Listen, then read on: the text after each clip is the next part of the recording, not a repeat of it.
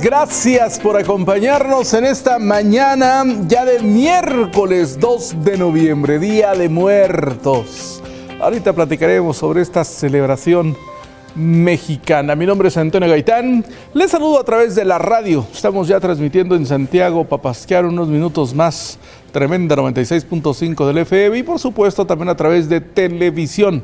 Canal 15, señal abierta, Megacable, Cosmocable y también a través de las redes sociales. Estamos en Facebook, Noticieros Garza Limón Durango y el Órale que chiquito. Ahí nos puede usted acompañar, sintonizar en cualquier parte del mundo, por supuesto, para estar interactuando de lo más importante que está pasando en el mundo, en México y por supuesto en Durango. Le comentaba que hoy es Día de Muertos. Bueno, el Día de Muertos de entrada es una tradición mexicana, ¿eh? Eso trasciende con el tiempo y es una creencia de lo que es el regreso de, nuestras, eh, de nuestros seres queridos, de las ánimas que regresan este día a visitarnos. Así que es por eso que se ponen altares de muertos en donde está la fotografía de papá, mamá, hermano, hijo, bueno, de aquella persona que se ha adelantado y le ponemos lo que a ellos les gustaba. Eh, algún, algún guiso, eh, alguna golosina, algún cigarrito, el refresco, la chevechita, la bebida, lo que a ellos les gustaba es lo que ponemos en el altar de muertos, porque es porque ellos vienen, ellos vienen de regreso a visitar a sus familiares. Y bueno, la tradición se ha vuelto realmente un espectáculo en diferentes partes del país. Incluso tenemos visitantes internacionales que vienen a algunas zonas para ver cómo se adorna y cómo se arregla con grandes eh, colores, flores, aromas, sabores y música lo que es el Día de Muertos en México. Ahorita platicaremos un poquito sobre esta celebración porque le tengo esto lo compartió mi compañera eh, Perla en Guadalupe Victoria. Ella nos tiene información de unos niños que cantaron La Llorona y decidí compartirles este video en el noticiero porque lo hacen excepcionalmente muy, pero muy bien. Así que saludos a todos los peques que también hoy están pues celebrando. Hoy, hoy es día inhábil, ¿no hay clases? Están dormidos los niños. ¡Ah, hombre! Y yo que les voy a poner su video a los niños de Guadalupe Victoria, hombre. Despierten al chamaco, si es de los que por ahí este, fueron de los que grabaron La Llorona y estuvieron cantándole en el panteón, despiértelo porque ahorita vamos a pasar el video, el video de los niños. Y bueno, es una mañana fría, por cierto, bastante, bastante fría en Durango Capital. Bueno, está de 6 grados centígrados aunque la temperatura nos dice que está alrededor de 4 grados centígrados. Ahorita vendrá nuestra compañera Anay a darnos un poquito más de información en cuestión del clima, de qué nos espera en las próximas horas y por supuesto en los siguientes días. Siendo las 6 de la mañana con 35 minutos, les comparto. Disfruten a estos niños que lo hacen realmente muy bien. Lo compartieron. Ah, no, ¿sabes quién lo compartió? Estaba yo eh, estaba yo mal con el dato, lo compartió el gobierno municipal de Guadalupe Victoria. Eh, la Llorona, una canción popular mexicana originada de la región del Istmo en Tehuantepec. Nuestros niños en Guadalupe Victoria la interpretan como nadie más. Me gustó mucho. A ver, vamos con esto que compartió el gobierno municipal de Guadalupe Victoria. Saludos a los peques que salen en este video.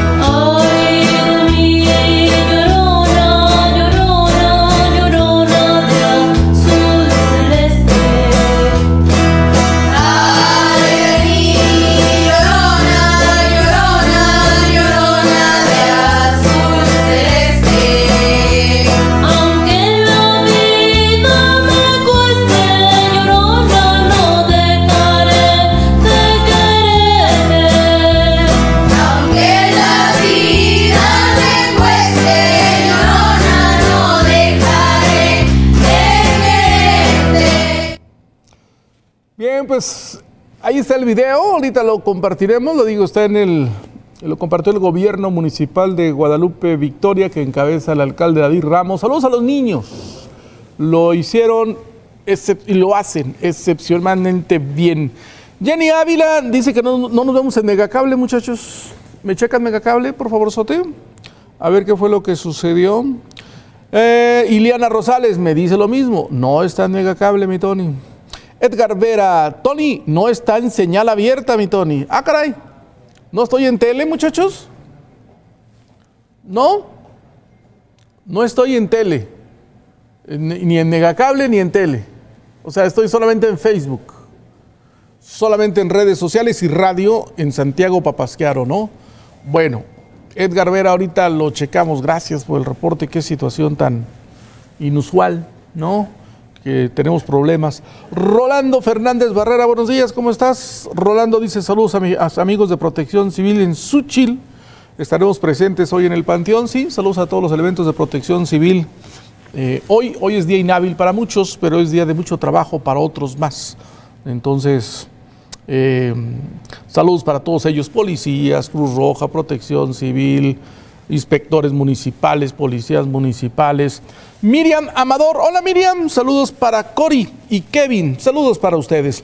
Vamos a una noticia eh, preocupante, sí, porque cuando hablamos de meningitis, es una enfermedad peligrosa. ¿eh? Esta enfermedad es eh, o bacteriana o a través de lo que viene siendo algún eh, tipo de medicamento contaminado. El caso es que la meningitis se considera como una enfermedad debilitante y que en algunos casos deja secuelas a las personas y en situaciones graves, lamentablemente, la muerte. Es una enfermedad grave. Se confirmó ayer por la Secretaría de Salud de Durango siete casos, siete mujeres jóvenes que lo que tienen en común es que estaban embarazadas, llegaron a una clínica particular a aliviarse y se contagiaron. Diferentes hospitales. De ahí la terrible alerta de ¿Y qué pasó? ¿No? Tristemente, de las siete jóvenes mujeres mamás enfermas, tres están graves y una lamentablemente falleció. Así lo informó la titular de la Secretaría de Salud, la doctora Iracema Condo. Buenas tardes, nos encontramos reunidos el día de hoy, el doctor Moisés Nájera, comisionado de la COPRISED, el doctor Martínez Favela, director del Hospital General 450, y el doctor Fernando Loera, director del Hospital Materno Infantil.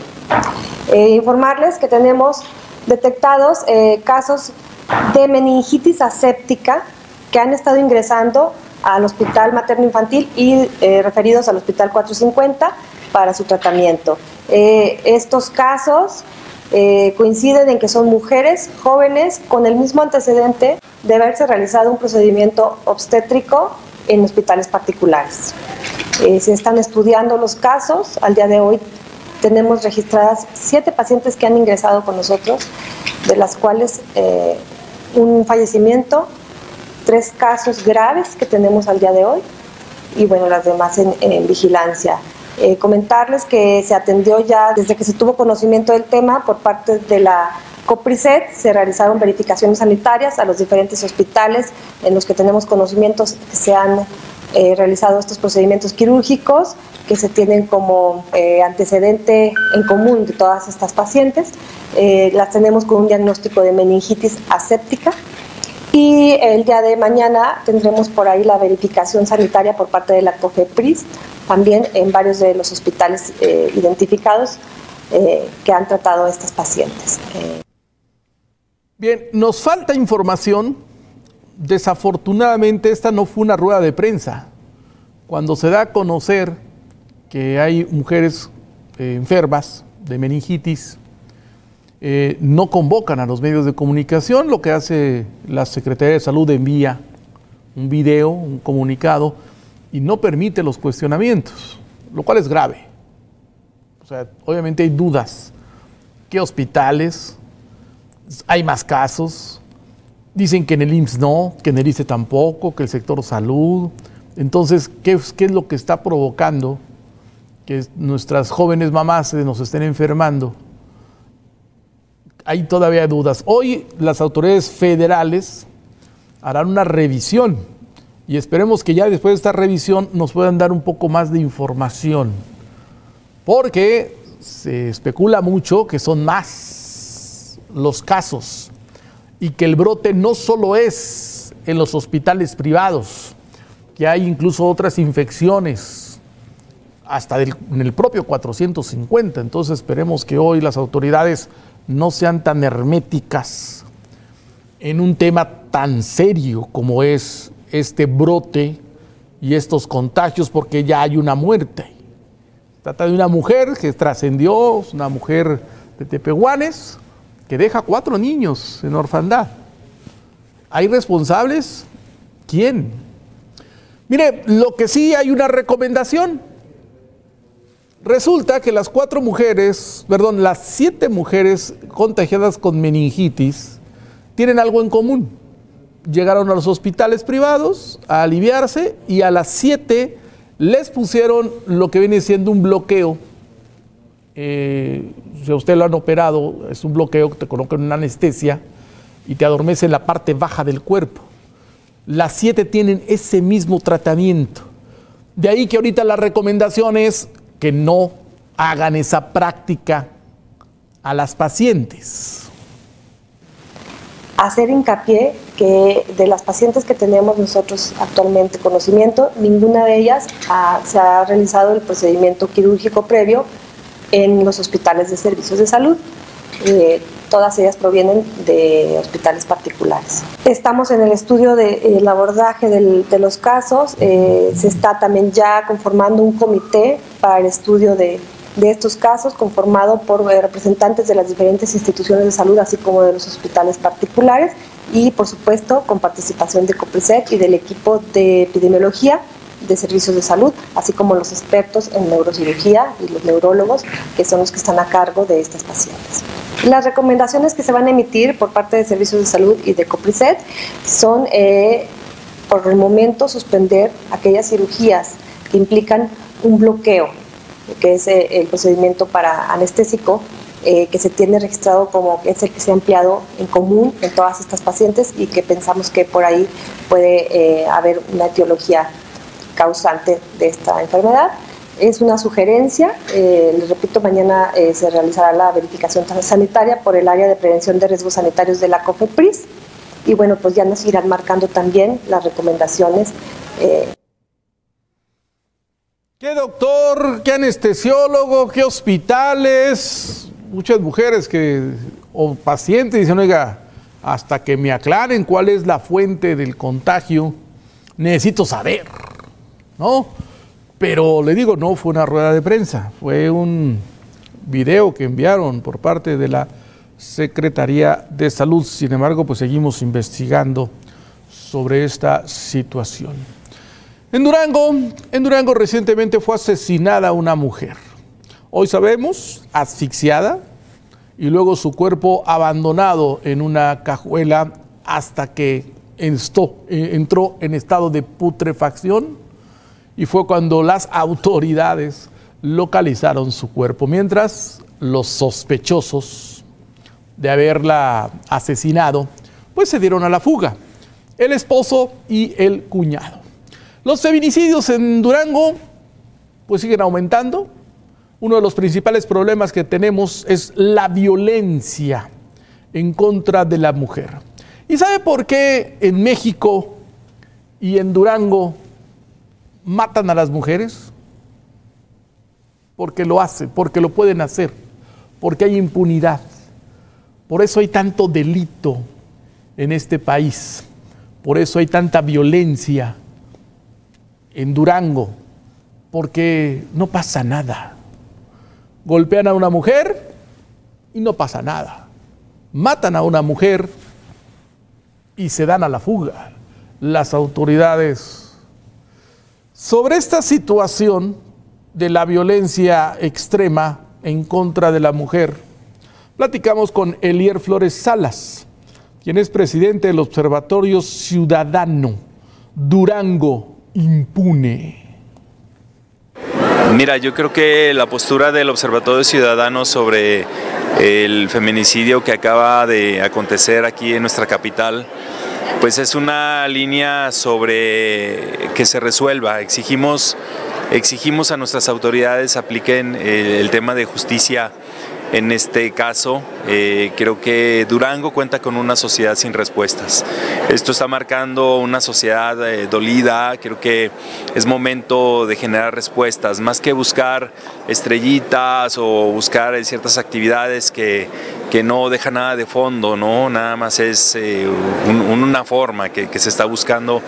la sociedad tiene pendientes, tanto en el tema de desarrollo económico, eh, como en otros tantos, el tema de justicia. Ahora, no es solamente este caso que vamos a, estar, bueno, pues siguiendo con oportunidad para que se resuelva y para que haya una, una aplicación justa respecto a, la integración de todas las evidencias que se encuentren, eh, sino también a aquellos casos que están pendientes, porque la violencia contra la mujer ha ido en aumento en, en el Estado.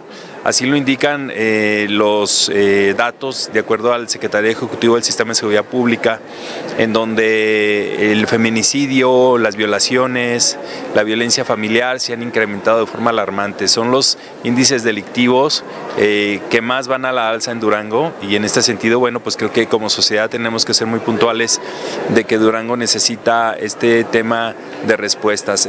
nos estamos convirtiendo en una sociedad que ve lo anormal como de manera normal normal y eso no, es, no, está bien, ¿no? ¿Las respuestas serían en qué aspectos que necesita el para no caer en esos temas de violencia?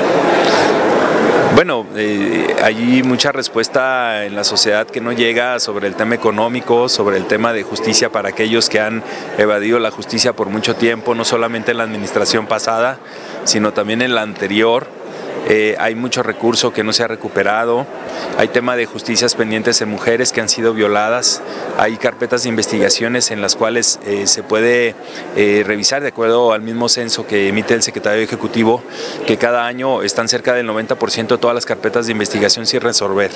En Durango tenemos una alta impunidad de cada 100 eh, delitos que se cometen, 96 no se denuncian, el 4% que sí se denuncia solamente de todos ellos. Eh, vamos a llamarlo así, de ese 4% ahora sí lo contextualizamos como un 100, de ese 100, tres eh, denuncias se resuelven y 97 no, el por ciento. Hay crisis en Durango, ¿eh? Tenemos crisis y crisis serias. Vamos a otros temas. ¿Tienen frío, muchachos? ¿Tienen frío? Sí. Pues hoy, hoy no, ¿verdad? Ayer estuvo más frío. Bueno, déjenme decirle que la NASA, no es algo que estemos inventando, la NASA, en sus registros climatológicos, dice que los inviernos se están haciendo más cortos y menos fríos. Sí, de pronto cae una heladota, ¿no? O un tema de una nevadota en alguna parte del mundo. Pero la realidad es que los inviernos se están haciendo más chiquitos y menos intensos. Antes había heladas desde septiembre. Hoy ahorita las heladas, pues bueno, se presentaron algunas en octubre, pero no tan fuertes. Se espera pues, que la temperatura, el frío también es importante, ¿eh? o sea, todo es importante, a final de cuentas hay un equilibrio. Pero debido al cambio climático, esto se está desajustando totalmente. Hay una fruta que está en riesgo por el cambio climático y es que sus árboles necesitan frío para descansar, recargarse y ¡pum! aventar flores en la primavera. Estamos hablando del manzano. Hoy la manzana está amenazada por estos inviernos cálidos. ¿Qué hacen los productores? Usan químicos. Usan químicos para engañar al árbol, ¿no? Son compensadores de frío. Afortunadamente ya se está hablando de compensadores de fríos orgánicos, porque ahorita el que están usando, el químico, pues atenta contra la salud humana. El tema de la manzana es un tema muy álgido, sobre todo para Durango. Entre otras cosas porque para producir manzanas se requiere un clima frío. Sí. Y si hablamos, eh, contextualizando el tema, si hablamos de cuándo inicia o cuándo iniciamos el ciclo de la manzana, pues es justamente ahorita. La gente dice, bueno, pues ya no hay manzanas en los árboles. Pues no. Pero ahorita es cuando ya empezamos a trabajar en la post cosecha. Y desde hace por lo menos 20 años, entre 20 y 25 años, el clima ha cambiado y se ha hecho más cálido. La manzana, a pesar de que es un, un cultivo que se adapta a climas templados fríos, y vaya, eh, se puede decir que en cualquier rincón de los cinco continentes hay, hay plantaciones de manzana, cada vez es más problemático acumular frío. Las variedades antiguas, estamos hablando de variedades de hace 50, 60, 70 años, pues requerían 1000, 1100 unidades frío, no horas, son diferentes. Y en este punto que decía yo del, invierno, que es importante para que acumule eh, eh, el, el, ¿cómo se llama? El, el, árbol suficiente frío para que pueda brotar, nosotros lo hemos compensado a través de los años con un producto que se llama cianamida hidrogenada. No digo marcas para no quemar empresas. Y ese ha sido el gol estándar, ese es el que nos ha permitido tener una brotación eficiente, más o menos eficiente, más o menos homogénea, como sucedería, por ejemplo, en lugares de mucho frío, como es Chihuahua, como es Chile, como es Washington. Y estar de igual a igual. Eso permite que nosotros tengamos un bloque de floración, un tiempo de floración no mayor de 15 días. En saludos al doctor cardiólogo y productor de manzanas de Calatlán, Ramón Delgado. Voy a una pausa. Ya está lista mi compañera Anay. ¿De quién es disfrazada hoy, Anay? No. Pilar, ¿de quién es disfrazado hoy? Igualito, de Pilar Aguilar. Órale, ahorita en el pilón tiene disfrazada. Bueno, vamos a la pausa.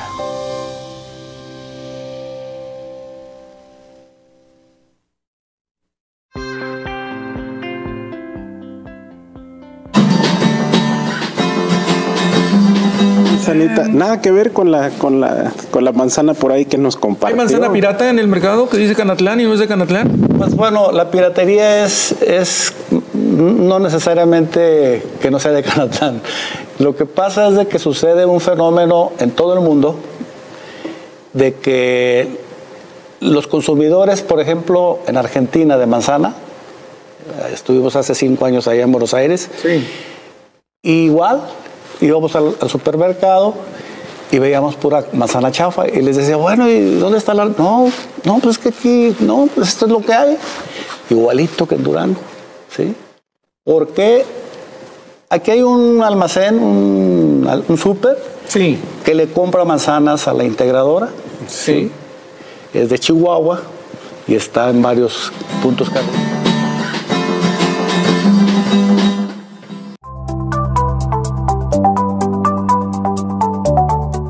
Economía mexicana tiene su mejor desempeño desde abril, creció 1% en agosto. Soy Javier Ocampo y esto es Economía. La actividad económica en México mostró su mejor desempeño en cuatro meses, de acuerdo con los resultados divulgados en la mañana de este martes por el Instituto Nacional de Estadísticas y Geografía. En el octavo mes del año, el indicador global de la actividad económica que da seguimiento mensual a la economía mostró una variación de 1% en su comparación mensual. Lo anterior supuso su mejor desempeño desde abril pasado, cuando el crecimiento del mes fue de 1.2%. El dato es mejor a lo que la INEGI previó en el indicador oportuno de la actividad económica, de un crecimiento mensual de apenas 0.1%.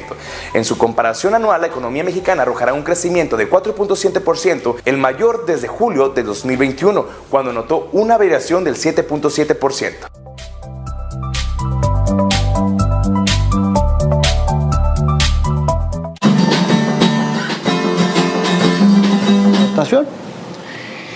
Nosotros eh, cada vez somos más presas de, la de, las agrotecnologías, pero también de los productos milagro, como, como pasa en la medicina. ¿no? Ahora hay medicinas para el cáncer, hay medicinas para curar la diabetes y todo, hasta para embellecer.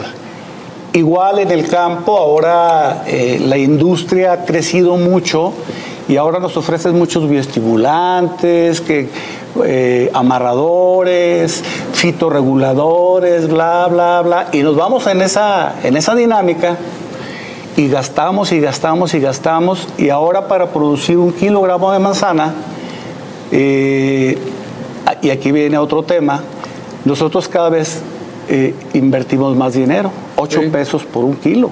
Entonces, a la hora...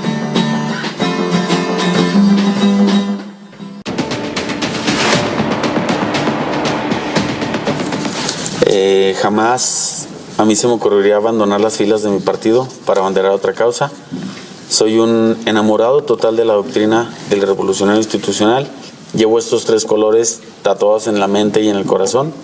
Y eh, no confío en la gente que transita de un partido a otro. ¿No confías?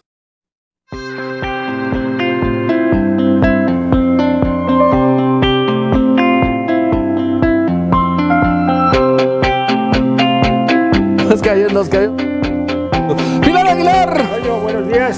Muy buenos días. Hola, mi querida Nay. Hola Toño, buenos días. ¿Eh? ¿Cómo has estado? Muy bien. ¿Qué No me me viene cuentas? Catrina para el rato, Al ratito sí te Al vas a, sí. te vas a, a garibolear de la carita. de la carita. Ah, es que sí, es que es el Día de Muertos. ¿no? Es el Día de Muertos, las Claro. Catrinas, pues las flores tan características. Sí, sí, Entonces ustedes sí. si van a ir a, familia- a visitar familiares, pues que la pasen súper bien, que recuerden con gusto y con amor a todos sus seres queridos. Hoy se esperan no menos de 100 mil personas en el Panteón de Oriente. ¿eh? Sí.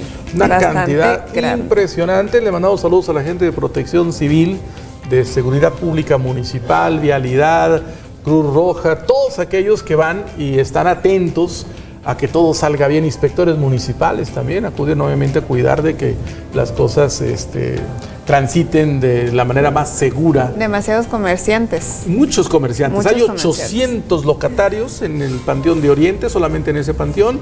Y es que sí, el Día de Muertos es una fiesta mexicana, es parte de nuestras tradiciones, según las creencias de nuestros antepasados y que esta creencia perdura. Sí. eh, vienen a visitarnos las ánimas de nuestros seres queridos. Sí, pero los de fueron. otros países que saben cómo, pues nosotros recordamos a nuestros seres queridos, sí es como un poquito difícil de comprender cómo nosotros los recordamos bien, felices, Claro. contentos con las cosas que les gustaban, llevarle comida al altar. O sea, son demasiadas costumbres diferentes. Claro. Porque hasta los que son realmente americanos de Estados Unidos Sí. se sacan de onda de por qué Dicen, hacen ¿qué eso. onda, con, ¿Qué onda con los mexicanos? Sí, ¿por qué hacen y su eso? altar, y su música, y sus colores, y sus flores. ¿Qué les, ¿Por qué celebran la muerte?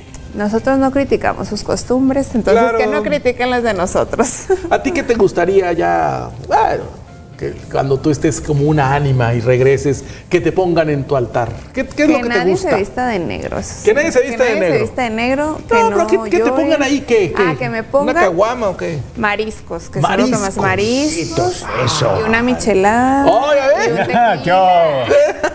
¿Qué tal? Hasta de Y muerta música quiere en vivo. gozar. Si no, si me ponen la grabadora, les jalo los pies en la noche. Eh, música en vivo. música si me van a en llevar vivo. ¿De música, banda o música de banda o de mariachi o de. Banda, banda, banda. Banda sinaloense. Sí. Muy bien. Sí, me lo van a poner ahí en, la, en el carro, no. En vivo. Oigan, Nay, adelántanos algo del clima. Ya está bajando más la temperatura, ¿Sí? Toño. Ya se siente más frillito. Va a seguir todavía el frente frío. Ya chocan en algunos estados. Viene todavía la posible entrada del frente frío número 7. Ya seguimos con el 6, pero sí va a seguir bajando la temperatura. En cuanto aquí a Durango, pues sí nos esperan temperaturas ya de 0 a 3 grados, que ahorita hemos estado amaneciendo a 2 grados, entonces Sí. estamos muy, muy cerquita. Te tengo un videíto, solo que pues acá no tenemos monitor, te lo voy a mostrar de este lado.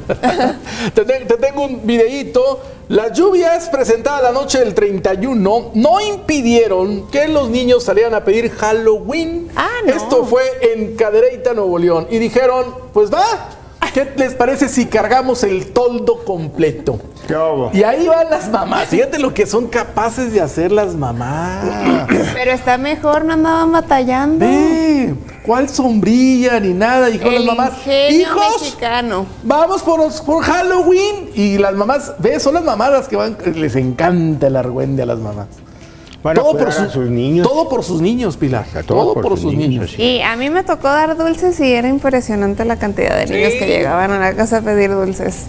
Las tres bolsas se me acabaron en un ratito. No dominamos el mundo porque no queremos, ¿eh? Chécate nomás ahí esos, esas personas. ¿Qué El tal? ingenio mexicano. El ingenio mexicano. Don Pilar Aguilar, ¿cómo estoy está Pilar? un- ¿Qué me está mandando Pilar? Un este. ¿A quién? ¿A mí? ah, ahí- ¿De qué se trata va. o qué? Un video. ¿Es un chisme? Un video ¿Eh? de una ¿Es un volcadura. Cuéntame ¿Es a un mí chisme? también. Cuéntalo, Pilar. Oiga, Cuéntalo. nos vamos. están preguntando que por qué no damos a conocer eh, los nombres de los, las clínicas, de las clínicas en las que surgió ese problema. Donde surgió el brote del, del meningitis, ¿no? Yo lo comentaba hace unos instantes. Ayer que se da a conocer, y esto porque se filtró a través de los medios de comunicación, el primero que lo dio a conocer fue el periodista Iván Soto. Ajá. Y después lo dimos a conocer aquí a través, a, través del Notigram, de que había un brote de meningitis en el hospital, en hospitales privados. Hospitales Y privados. que los pacientes estaban siendo llevados al hospital 450 porque hablar de meningitis es hablar de una enfermedad seria. Bueno, después de que se filtra, porque si no, quién sabe, a lo mejor ni lo dan a conocer. Después de que se filtra, eh, envían un video, o sea, no convocaron a los medios de comunicación, no nos dieron la oportunidad de, de preguntar, de indagar. Oiga, ¿qué pasa? Meningitis es un tema serio. ¿De dónde están enfermando? ¿Cuántas personas enfermas? ¿Qué le decimos a la gente? ¿A cuáles hospitales no deben ir? No nos permitieron eso y mandaron un video. Y nada más nos dicen, sí, hay siete mujeres, una se murió, tres están graves, hospitales privados y nada más. Ah, por eso no. no Por eso no se sabe. Algunas personas comentan en las clínicas, nosotros no somos nadie para decir en cuáles, porque la autoridad la debe decir. Es- pero- son ellos quienes tienen la información Así oficial. es, así es, ¿qué tal si son eh, falsos? Mejor la autoridad que tiene la información debe darla a conocer para Pues que sí. las personas que fueron atendidas en esos hospitales, bueno, tomen sus precauciones o acudan con el médico. Pues sí, pero le digo, no fue rueda de prensa. Ahí le doy un video y tan tan. Ok. Ahí está, ahorita comentamos un poquito más la información. Don Pilar, ¿qué tenemos el día de hoy, Pilar? Oiga, tenemos ese video que le mandé, Toño, de un accidente ver. aquí eh, por la avenida que uni- a Universidad frente al Estadio Francisco Zarco. Ah. Una volcadura, una volcadura de un vehículo quedó con las ruedas hacia arriba. Y también por ahí hay un video, Toño, un video, eh, no sé si lo tenga. Ahí está, mire, ahí está. de- ah, este eh, fue. Este es el de ayer, del, del camión cervecero contra eh, la camioneta. La camioneta, fíjese. Sí, sí, sí. ¿eh? Ah, no, vean nomás cómo iba. ¡Pum! Ahí está. Terrible. Es lo que dimos a conocer ayer, no teníamos más información, hoy sí la tenemos toda y en un ratito más se la vamos a dar. El suicidio número 150, 150 ya en lo que va del año, el primero de, del mes de, de noviembre. Y otra mujer duranguense que está desaparecida, está Ah, desaparecida caray. de la región lagunera, no está desaparecida en Durango, ahí la última vez que eh, la vieron fue en el estado de Jalisco. Sí. Pero bueno, de todas maneras, la vicefiscalía de la Laguna ya emitió la alerta de búsqueda. Y bueno, pues esto eh, preocupa, preocupa, Claro. aunque no sea en Durango, pero aquí han ocurrido eh, verdaderas tragedias con mujeres que se desaparecen. Ayer la Fiscalía General del Estado dio a conocer, bueno, pues que ya está buscando a este sujeto, o sea, ya con orden de aprehensión. Dicen que hasta el, Suri. dicen que hasta el cuñado, ¿no? Es un problema, es un problema entre todas las. Fíjese qué grave, Antonio, cómo, cómo se da ese problema. Hay la mamá del Suri, del falso policía, está detenida. La hermana del Suri, del falso policía y presunto eh, eh, eh, asesino de Lupita, está también en el cerezo. O sea, toda la familia, ahora si buscan al Suri y a su hermano, bueno, pues toda la familia va a Toda la ahí. familia implicada en, la- ese, en ese feminicidio. Pilar, le tengo un videíto. Esto fue, fíjense que los motociclistas están sembrando el terror, ¿eh? Ah, sí. Están convocando a lo que ellos llaman rodadas del terror o rodadas anarquistas.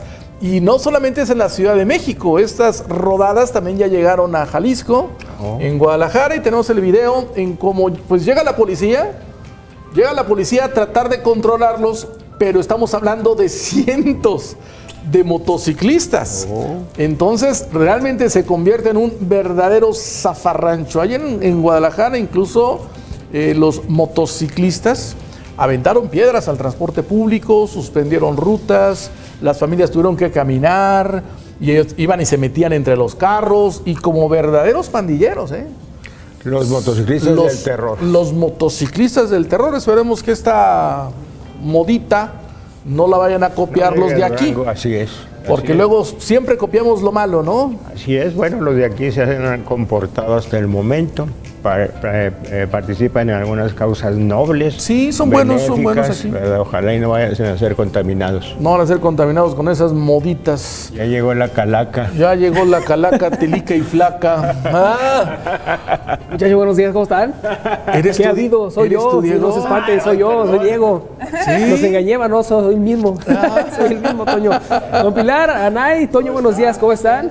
En esta mañana, eh, hoy Día de Muertos, vamos a platicar eh, en deportes acerca de los mexicanos en las grandes ligas. Y es que un Azteca se está luciendo a lo grande allá en aquella competencia norteamericana. Además, también tenemos información de Raúl Alonso Jiménez porque faltan escasas semanas para que arranque el Mundial y México puede perder una pieza importante. Vamos a platicar de quién se trata y sobre todo si es que va a tener la oportunidad de llegar al Mundial. Además, también Cruz Azul puede presentar a su entrenador en esta semana. Vamos a platicar de quién se trata y sobre todo qué posibilidades tiene de tener un buen torneo con el equipo de la máquina celeste de la Cruz Azul. Esto y más en punto de las 8 de la mañana. Oye, te imaginamos muy bien, mi querido Diego. Bien, ¿verdad? Gracias a mi Sí. amiga Clau. Llegué yo a las 5 de la Sí. mañana, muchachos, desde las 5. Me están maquillando. Porque hay raza que luego se, se pinta, pero parecen pandas. y no, tú, tú sí, tú sí pareces. Muchas gracias, muchas gracias. Tú muchas sí gracias. pareces Le la vaca Metimos ahí producción, Qué producción, Sí. dedicación. Excelente, mi Diego. Te tengo una fotografía, la vas a identificar rápidamente porque se volvió tendencia el día de ayer. A ver si tenemos por ahí la fotografía. Resulta que es un jugador que es ahorita de los mejores Ah, claro. en cuestión de eh, América. Y se volvió tendencia porque se dio a conocer que sí invitaron a Carlos Vela al Mundial. ¿Y qué crees? Pues que dijo que nana. Dijo que no. Qué raro que diga que no la selección, ¿no? ¿Qué le pasa a este Mm. tipo? Sí, sí, sí, por ahí estaba leyendo que una vez más dijeron, oye, ¿no quisieras venir a la selección a hacernos el paro? Dijo que no, una vez más rechazó a la selección. Yo digo, bueno, si ya Vela ha rechazado cuántas veces quiso a la selección, ¿para qué le vuelven a insistir? Que ya no le rueguen. Que no le rueguen, no hay que rogarle a quien no quiere venir. El que quiera estar va a estar y el que no, pues ni modo. ¿no? Pero terrible su postura Sí, de este sí, jugador claro. que no, no, no ama México, no le gusta ponerse la, la verde y Ahora, representarnos se supone el que Mundial. el sueño de cualquier futbolista es ir a un mundial con su selección. Claro. No, no logro comprender que Carlos Vela todavía se dé el lujo de rechazar. Y todavía, pues México no tiene tan eh, buenos futbolistas y los mejores que tiene se dan el lujo de recha- rechazar a la selección. Me parece que es algo completamente. eh, pues complicado, algo completamente que no tendría que pasar y, y triste lo de Vela, si no quiere estar que no esté y una vez más pues rechaza a la selección mexicana. Y al que sí quiere, que es el chicharito, no Sí, me ¿no? lo quieren. Exactamente. ¿Qué Sí, sí, sí. cosas? No, así es la vida. Así es la vida de caprichosa. Así es la vida. Que te quieres, tú no, a ti no te quieren. ¿Verdad? Si quieres, El que quiere no. Fíjate El nomás. que no quiere sí. El que sí quiere decir. Válgame Muchas gracias, Dios. mi Diego. Gracias, regresamos contigo los gracias, Toño. deportes. Gracias, Anay. Gracias, don Pilar. Vamos a la pausa. Regresamos.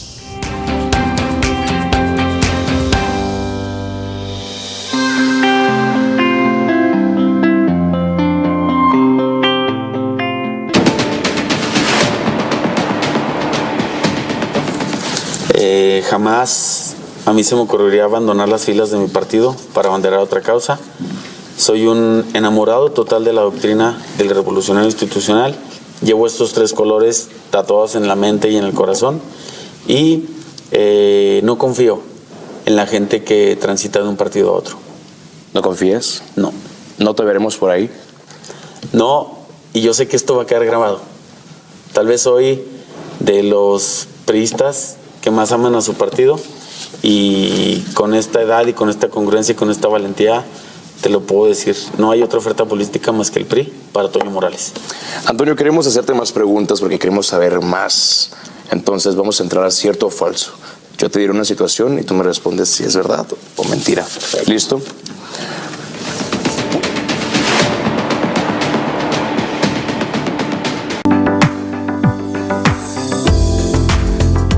Nódulo pulmonar, síntomas, detección y tratamiento de la dolencia. Un nódulo pulmonar puede implicar un cáncer de pulmón, sin embargo, la mayoría no son cancerosos.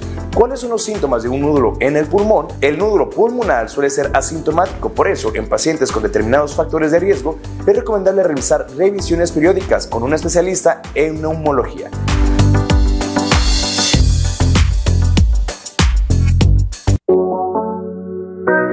Yo soy Cris Alet y te tengo algunos consejos acerca de nuestro estilo de vida. Conforme avanza nuestra vida, nos damos cuenta de que nuestros hábitos nos han llevado hacia un estado de salud bueno o malo. Esto es porque si hemos estado llevando hábitos poco saludables, debemos modificar nuestro estilo de vida. Así que aliméntate sanamente. Alimentarnos sanamente debe ser un hábito que forjemos desde jóvenes. Sin embargo, es de especial importancia cuando somos adultos. Mueve tu cuerpo diariamente, practica algún deporte, camina, nada o realiza cualquier otra actividad que te mantenga en movimiento.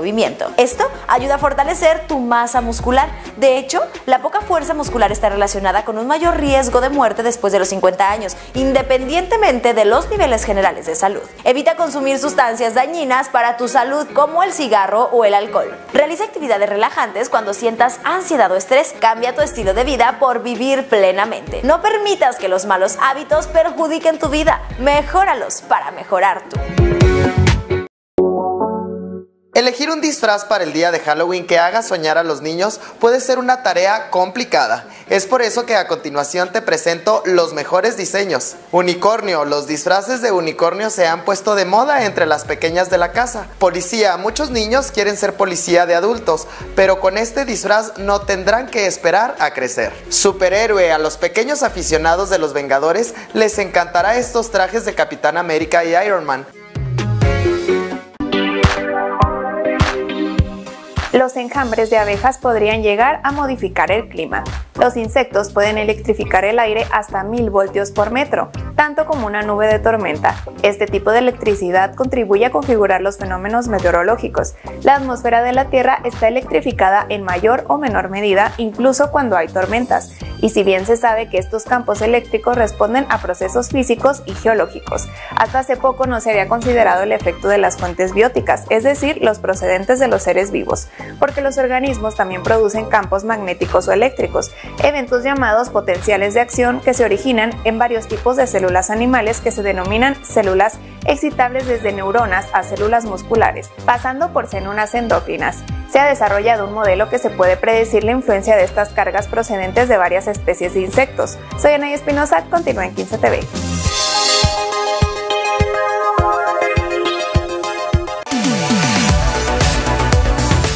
No tiene ninguna esperanza de mejorar lazos con Reino Unido tras nombrar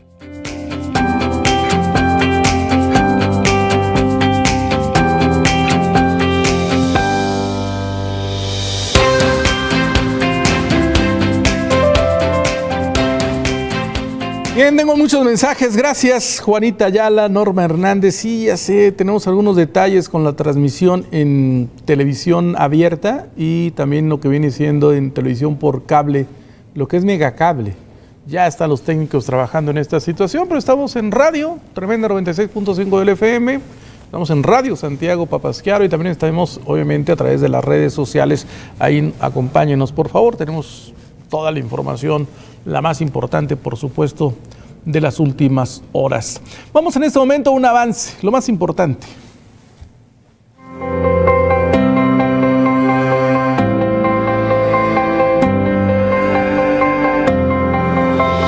La Secretaría de Salud de Durango confirma siete casos de meningitis. Se trata de mujeres embarazadas que tuvieron su parto en hospitales privados. Son mujeres jóvenes, tres de ellas se reportan graves y desafortunadamente un fallecimiento.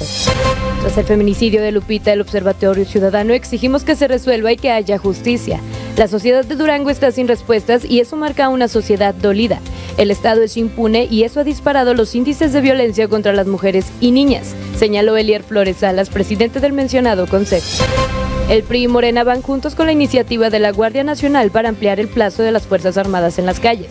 Los diputados locales de Morena y PRI, Sandra Maya Rosales y Ricardo López Pescador, se pronunciaron a favor de la iniciativa de la Guardia Nacional para fortalecer la corporación y combatir la inseguridad. La diputada local del PAN, Verónica Pérez Herrera, se pronunció en contra de la militarización. Aseguró que su voto no es partidista, es responsable. El COVID-19 y el cáncer son las causas de muerte de los duranguenses según el INEGI. Sin embargo, la población considera que la diabetes es la enfermedad que puede adelantar la muerte de una persona por los malos hábitos. Las principales causas de muerte fueron enfermedades del corazón, tumores malignos y diabetes. En 2020 en México fallecieron 1.086.743 personas, de las cuales 59% son hombres y 41% mujeres. El choque sobre el Boulevard José María Patoni de una camioneta marca GMC y un camión cervecero quedaron heridos dos personas, pero luego falleció en el Hospital General 450 Néstor Manuel Rentería Graciano, de 25 años de edad, y quedó herido Jorge Enrique Macías Pinedo. Esta y más información usted podrá apreciar en este espacio de noticias. Gracias por acompañarnos en 15 TV. Comenzamos.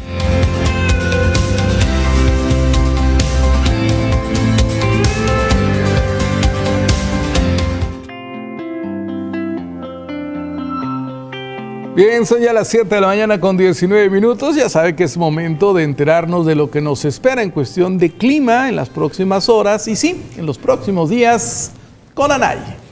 Ahora sí, ya nos vamos con la información de clima de aquí de la ciudad. Nos encontramos en una temperatura actual de 5 grados centígrados. Teníamos mínimas de 6, ya bajaron a 5, máximas de 27, precipitaciones del 1%, una humedad del 27% y ráfagas de viento de 11 kilómetros por hora. Para los próximos días que nos espera aquí en la ciudad, para el día de mañana tenemos una mínima de 7, máxima de 28 con cielos soleados. El día viernes, mismas condiciones, tenemos mínima de 4, máxima de 27 y el día sábado, con cielo soleado y despejado, también tenemos mínimas de 5, máximas de 27 grados. Ahora nos vamos con municipios cercanos, comenzando con Guadalupe Victoria, donde tenemos mínimas de 7, máximas de 25 con cielos despejados. En El Salto, con cielo soleado, tenemos mínima de 4, máxima de 20 grados. En Cuencame, también con cielos soleados, tenemos mínima de 9, máxima de 26 grados. En Santiago Papasquero tenemos mínimas de 6, máximas de 28 grados, mismas condiciones, cielo soleado. Para Vicente Guerrero tenemos mínimas de 7, máximas de 27 grados, cielos soleados. En Canatlán también con cielos despejados tenemos mínimas de 6, máximas de 26 grados. Y finalizando Nuevo Ideal tenemos mínimas de 6, máximas de 26 grados también con cielo soleado. Ya sabe, para que usted vaya a visitar a sus seres queridos, el día va a estar muy agradable. Oye, ¿se fue la nubosidad, Anaís? Las nubes. Totalmente, Toño. Totalmente desaparecieron. Totalmente, de 0 a 100, totalmente. Nada. Nada. Y eso que teníamos días nublados, nublados, nublados, llovizna, nublado, llovizna, desapareció. Nada, y se espera que así siga varios días, Sí. ¿no? Se espera que así siga casi todo el, el mes de noviembre. Casi todo el mes de noviembre. Sí, soleado, soleado, soleado. Ya más frío. Sí, claro. Sí, ya más frío. Pero en cuanto a nubes, no. Nada. Aún no está pronosticado nubes. Por lo pronto, hoy, toda esta semana, cielos despejados, soleados, muy soleados. Muy bien, gracias, Anay. Son los días más bonitos. Los días más bonitos. Gracias, Sí. Anay. Regreso contigo en un ratito más. En un momento yo vuelvo con el pilón. Muy bien, gracias. Vamos a más información. Comentamos hace un instante lo que mm, sobre el asesinato de Lupita.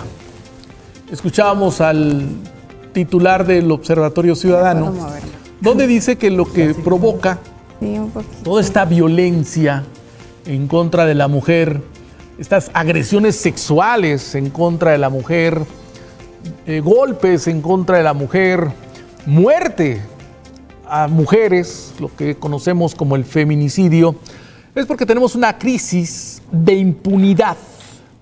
O sea, es un Durango en el que no se castiga. Entonces la gente dice, ah, pues aquí yo hago lo que quiero, Total, no me hacen nada. Y la impunidad no solamente es al delincuente del barrio. La impunidad, de pronto vemos, y lo dice Elier Flores, dice, ves personas, por ejemplo, que hubo saqueo al dinero público y no hay castigo. O sea, todos esos mensajes de impunidad, entonces la gente dice, lo puedo hacer. Ahorita platicamos el tema de Lupita Rojas, ahorita la información la tendrá un poquito más amplia mi compañero Pilar Aguilar, y resulta que el tipo, el esposo principal sospechoso, se hacía pasar por policía, andaba hasta en camioneta blanca, pasando, o sea, y no pasaba nada. La impunidad total. Por eso, ah, pues hago lo que quiero, ¿no? Y hoy tenemos esta situación tan grave. ¿Qué, podemos hacer? Protegernos entre nosotros. Hay maneras, muchachas, cuando salgan. Fíjate, el otro día una, una chica, hay una aplicación en WhatsApp donde tú compartes tu ubicación real, en tiempo real. Muchas muchachas no lo quieren hacer, pero a una muchacha en un estado, no fue aquí en Durango, permitió que la mamá la, localizara porque la habían narcotizado. En un bar le dieron algo y la mamá la pudo, la pudo ubicar. Ah, mi hija está aquí. O sea, hay, hay algunas acciones que podemos implementar para cuidar de nuestras mujeres, esposas, hijas, nietas. En Durango existen los botones de pánico y existe una aplicación que se llama SOS Segura. La pueden descargar a su teléfono celular y ahí están sus datos y está su geolocalización. Estos sistemas siguen funcionando. Úselos. Los van a perfeccionar. Eso es una buena medida. De esto nos habla el director de Seguridad Pública Municipal, Marco Antonio Contreras. Lamentablemente ayer se dio a conocer un hecho que todos los duranguenses nos dolió mucho. Eh, nosotros en Seguridad Pública, por instrucciones del presidente Toño Ochoa, estamos trabajando, es un eje central del presidente la mujer, la unidad de equidad de género sigue trabajando, las aplicaciones siguen trabajando, si hay este, deficiencia en alguna algún tipo de, los auxilios en las aplicaciones, pero lo vamos a ir mejorando. ¿Cuántos llamados están recibiendo en este momento a través de la alerta? O... En promedio son 15, bueno, este mes tuvimos 15, 7 de, los, de las alertas fueron falsas. Entonces sí hacemos un llamado a la ciudadanía que los use con responsabilidad, que es un tema que queremos nosotros mejorar para que no se dé este tipo de, casos.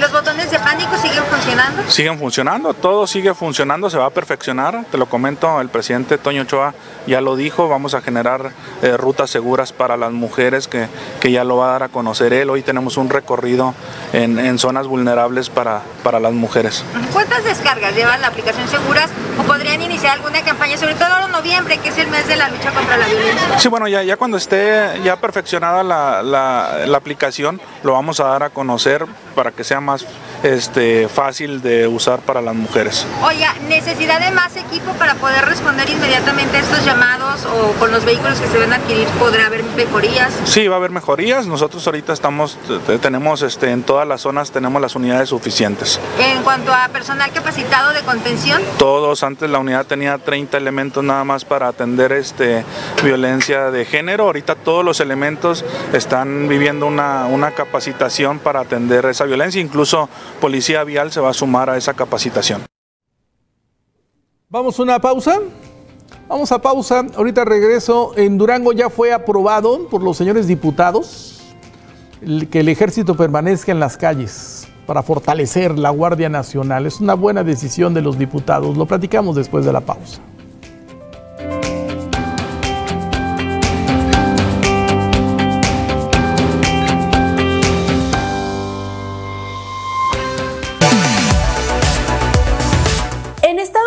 Retiran marcas de shampoo seco en aerosol por alerta de cáncer. Yo soy Fernanda Andrade y esta es información internacional. Medios de comunicación en Estados Unidos reportaron que se retiró del mercado a diferentes marcas de champú seco en aerosol debido a la posible presencia de benceno, una sustancia química que puede causar cáncer. Los productos afectados se fabricaron antes de octubre del 2021 y se distribuyeron en minoristas de todo el país. El gobierno de Durango no trabaja con lo mínimo indispensable en cuestión de personal y, de muchas cosas. O sea, hay una nómina bastante grande. Súper grande. A ver, pero ¿cómo hacerle? Porque Vamos a tener que reducirla, mi Toño. Estamos hablando de despidos. Sí. O sea, pero, pero digo, no, no es como un tema masivo, es, a ver, ¿quién entró en los últimos meses? ¿Quién entró en el último año? ¿Por qué entraron? ¿Dónde estaban? ¿Qué hicieron? Porque nos hemos encontrado pues no, no va sobre la gente que tiene años. No, no, no, no, no, no es un tema de locura y se van 20 y vámonos, y acá 100, y no, es, es una estrategia y es paulatina. ¿Y, no, es para meter de nuevo? No, no, a eso iba. Saco 100 y luego los otros 100. Y entran 150. Así pasa, así le hicieron. no, a eso, a eso iba. Eh, no, es que no, quera, no es que queramos despedirlos, es que no tenemos para pagarles.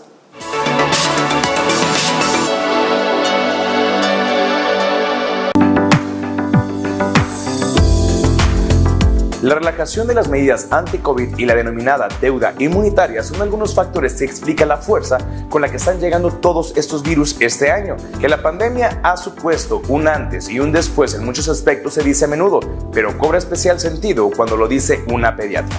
Todo ese calendario vírico que más o menos podríamos adivinar en cada mes que el virus iba a circular, la verdad es que el coronavirus lo ha tirado por tierra y ahora es una sorpresa detrás de otra, advierte Teresa Serrano, pediatra en el Centro de Salud Risueñores de Zaragoza y vicepresidenta de la Asociación Española de Pediatría de Atención Primaria. Los niños son los que corren más peligro. Es más, en el caso de los bebés y los más pequeños, muchos de ellos no han estado nunca en contacto con ninguno de estos virus, ni expuestos, ni han recibido anticuerpos a través de la leche materna.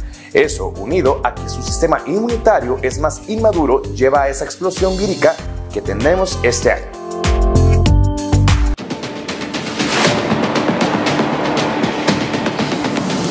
Dime sinceramente, ¿hay detenciones injustas, cierto o falso?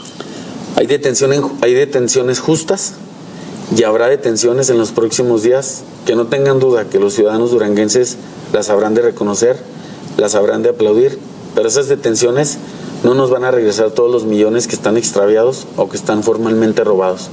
Esta gente será citada a cuentas, ya hay órdenes de aprehensión, pero nosotros, los regidores, los diputados, los entes de gobierno, los secretarios, los directores, no seremos quienes andemos perdiendo el tiempo cazando delincuentes o cazando bandidos. Lo habrán de hacer las autoridades. Creo que la fiscal general del Estado y el fiscal anticorrupción tienen los suficientes arrestos y experiencia para darle respuestas al pueblo de Durango. Eso debe ser una página de la agenda, concluir con detenciones con órdenes de aprehensión para que...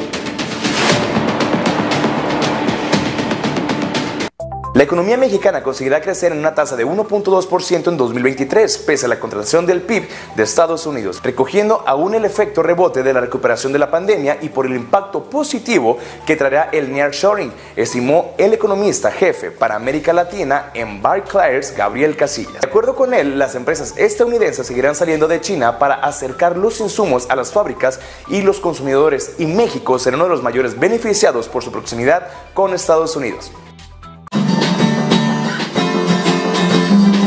De frenos, es, así, una, una ficha muy completa.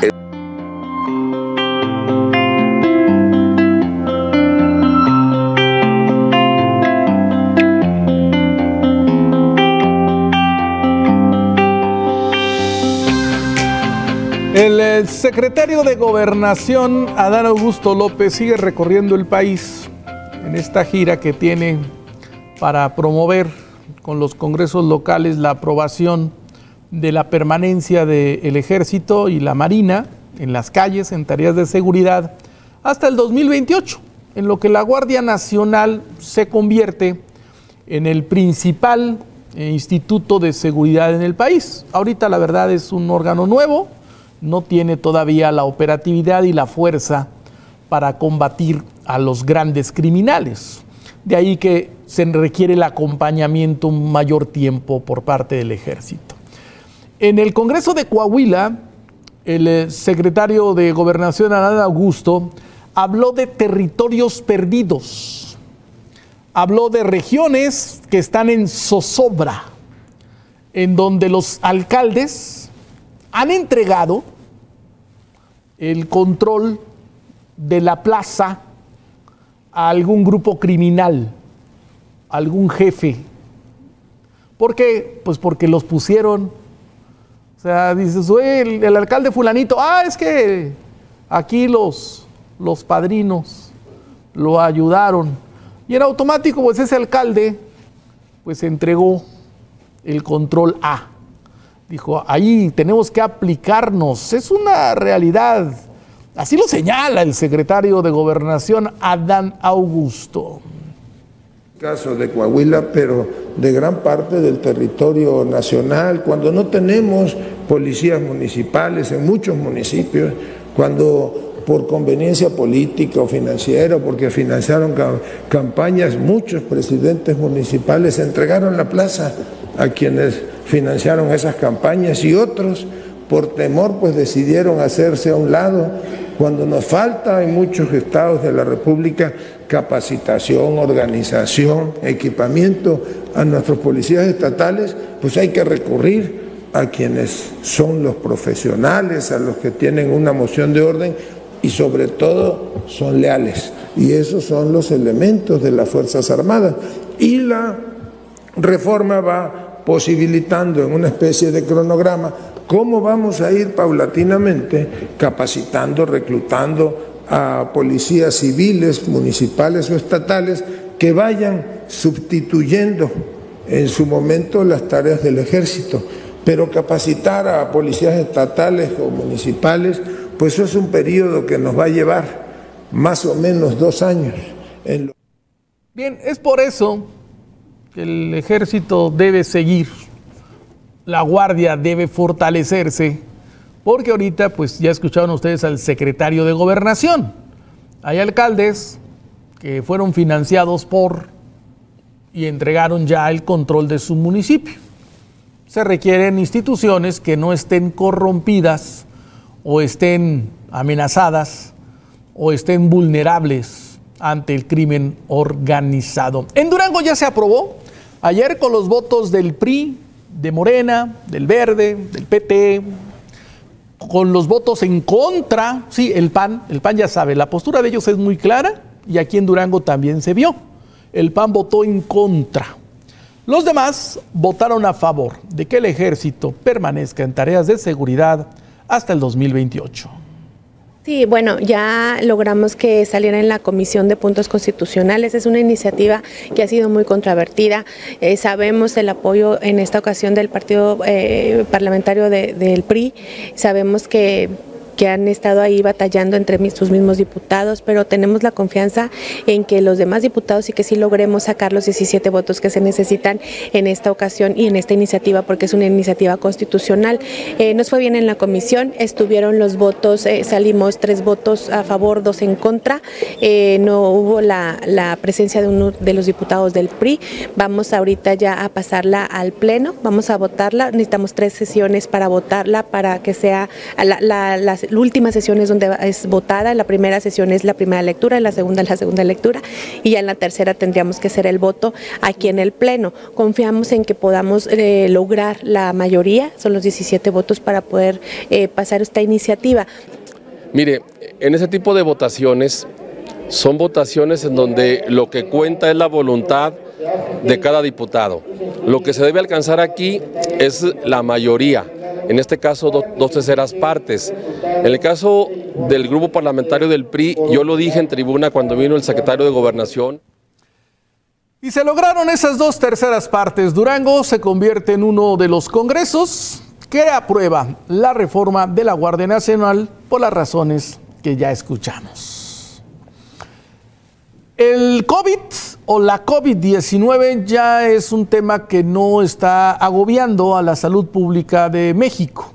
Todavía su tendencia se mantiene baja, se espera que esté subiendo un poquito, pero ya no es un tema que preocupa, aunque sigue siendo una pandemia. Así lo informó el subsecretario de Salud, Hugo López Gatel.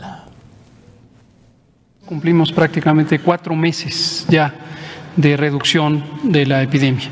Como señaló mi colega Ricardo Cortés la semana pasada, estamos en un periodo interepidémico, a esto se le llama así a justamente el valle que hay entre las distintas oleadas y es un momento de receso, como ya hemos planteado, de la epidemia. Y lo que podemos ver en los números, lo mostramos nuevamente aquí, es la misma tendencia que en estos cuatro meses se ha presentado. Cada semana nueva que cierra tenemos una cantidad menor de casos con respecto a las semanas precedentes. Y lo mismo para la ocupación hospitalaria que vemos en la siguiente imagen. Bien, este es el escenario nacional. Hablamos de salud. Hoy es portada del Órale qué chiquito. Ayer se dio a conocer sobre un brote de meningitis en hospitales privados de Durango. La información surge de manera extraoficial en un inicio. ¿eh? Las autoridades sanitarias no habían dicho absolutamente nada hasta que se filtró en medios de comunicación. Aquí lo dimos a conocer a través de Notigram, ahí estaba la información. Se hablaba de al menos 10 personas contagiadas Y ya después de esto, entonces sí, la Secretaría de Salud emite un video. Aquí lo lamentable es de que no fue una rueda de prensa. O sea, no se permitió a los medios de comunicación cuestionar, preguntar, oiga, ¿y qué hospitales son? Oiga, ¿qué, qué, medidas deben hacer las mujeres? Porque la secretaria de Salud, Iracema Condo, da a conocer siete casos de meningitis, siete casos confirmados hasta el momento. De estos siete casos, tres están graves. Una ya murió. Y se trata de mujeres jóvenes, embarazadas, que llegan a un hospital a aliviarse y todo sale bien. Pero después empiezan a presentar síntomas extraños y las regresan a los hospitales y se estamos hablando de meningitis. Meningitis es una enfermedad grave, pues ya escuchó usted, tres están graves y una ya falleció. Vamos con la secretaria de salud, quien informa en lo general, pero hay boquetes, hay espacios que generan dudas a la sociedad. Buenas tardes, nos encontramos reunidos el día de hoy el doctor Moisés Nájera, comisionado de la COPRISED, el doctor Martínez Favela, director del Hospital General 450, y el doctor Fernando Loera, director del Hospital Materno Infantil. Eh, informarles que tenemos detectados eh, casos de meningitis aséptica que han estado ingresando al Hospital Materno Infantil y eh, referidos al Hospital 450 para su tratamiento. estos casos eh, coinciden en que son mujeres jóvenes con el mismo antecedente de haberse realizado un procedimiento obstétrico en hospitales particulares. Eh, se están estudiando los casos. Al día de hoy tenemos registradas siete pacientes que han ingresado con nosotros, de las cuales eh, un fallecimiento, tres casos graves que tenemos al día de hoy y bueno, las demás en vigilancia. Eh, comentarles que se atendió ya desde que se tuvo conocimiento del tema por parte de la COPRISET, se realizaron verificaciones sanitarias a los diferentes hospitales en los que tenemos conocimientos que se han eh, realizado estos procedimientos quirúrgicos que se tienen como eh, antecedente en común de todas estas pacientes. las tenemos con un diagnóstico de meningitis aséptica y el día de mañana tendremos por ahí la verificación sanitaria por parte y digo que la pregunta es, ¿cuáles hospitales, no? A ver, ¿en cuáles hospitales se dieron estos contagios? Se habla de un lote de medicamentos contaminado. ¿Cuáles son las recomendaciones? Lo único hay una sugerencia. O sea, es una sugerencia. Porque las siete mujeres enfermas tienen algo en común. A las siete les colocaron un bloqueo si usted ha ido a una cirugía o algo, te ponen como una anestesia y te duermen en la parte baja del cuerpo. O alguna parte del cuerpo, finalmente es la, decisión del anestesiólogo. Las siete en lo mismo. Entonces recomiendan que no te pongan el bloqueo. Pero ¿en cuál hospital? ¿Y cuál anestesiólogo? ¿O cuál doctor? Esa es una sugerencia, pero la dejan abierta hacer hincapié que de las pacientes que tenemos nosotros actualmente conocimiento, ninguna de ellas se ha realizado el procedimiento quirúrgico previo en los hospitales de servicios de salud. Eh, todas ellas provienen de hospitales particulares. Estamos en el estudio del abordaje de los casos, eh, se está también ya conformando un comité para el estudio de, de estos casos, conformado por eh, representantes de las diferentes instituciones de salud, así como de los hospitales particulares, y por supuesto con participación de COPRISEC y del equipo de epidemiología de servicios de salud, así como los expertos en neurocirugía y los neurólogos, que son los que están a cargo de estas pacientes. Las recomendaciones que se van a emitir por parte de servicios de salud y de COPRISET son, eh, por el momento, suspender aquellas cirugías que implican un bloqueo que es eh, el procedimiento para anestésico, eh, que se tiene registrado como es el que se ha empleado en común en todas estas pacientes y que pensamos que por ahí puede haber una etiología causante de esta enfermedad. Es una sugerencia, les repito, mañana se realizará la verificación sanitaria por el área de prevención de riesgos sanitarios de la COFEPRIS y bueno, pues ya nos irán marcando también las recomendaciones.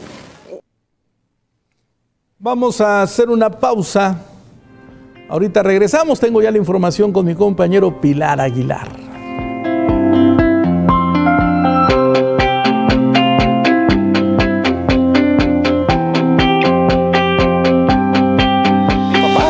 Mis papás que, que me interesaba eh, conocer un poco más sobre el seminario y venimos un día aquí al seminario mayor sin presentación, sin conocer absolutamente nada y dijimos, ¿qué se necesita para entrar?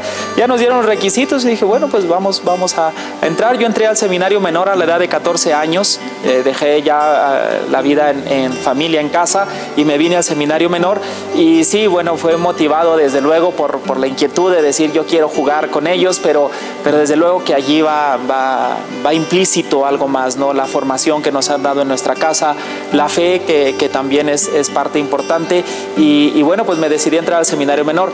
Ahí conocí a los que ahora considero no solamente amigos, sino prácticamente hermanos. Yo en mi familia pues eran puras mujeres y, bueno, aquí yo conocí a, a, grandes amigos de verdad.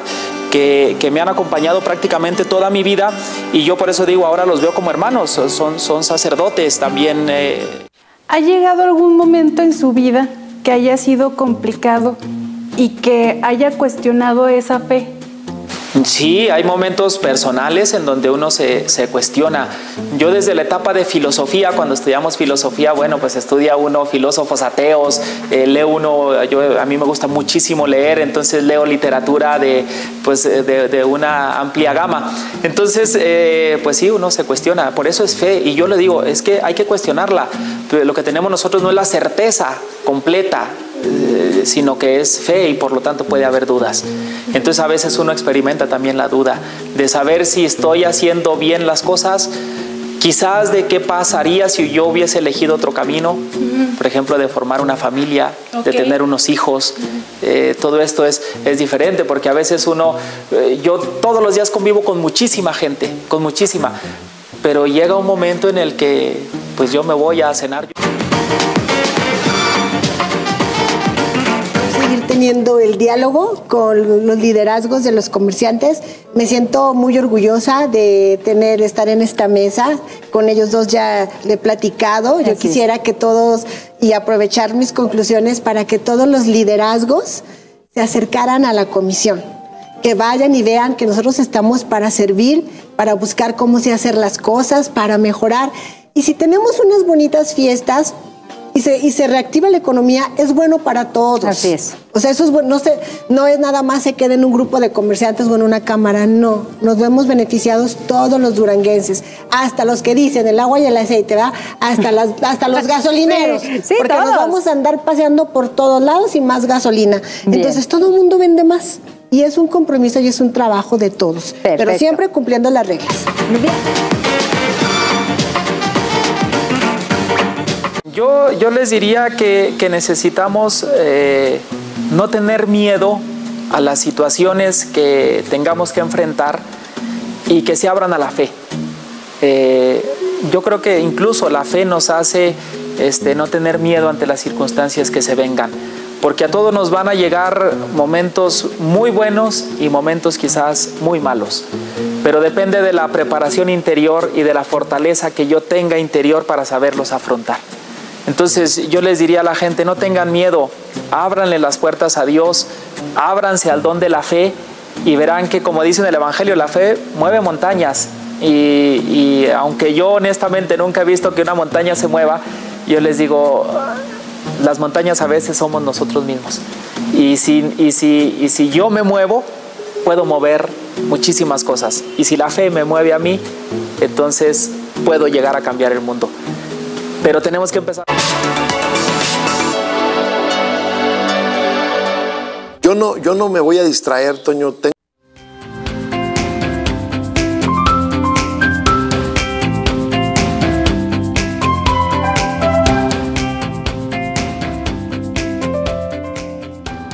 Bien, son ya las 7 de la mañana con 47 minutos. Tengo una felicitación, déjenlas mando de una vez.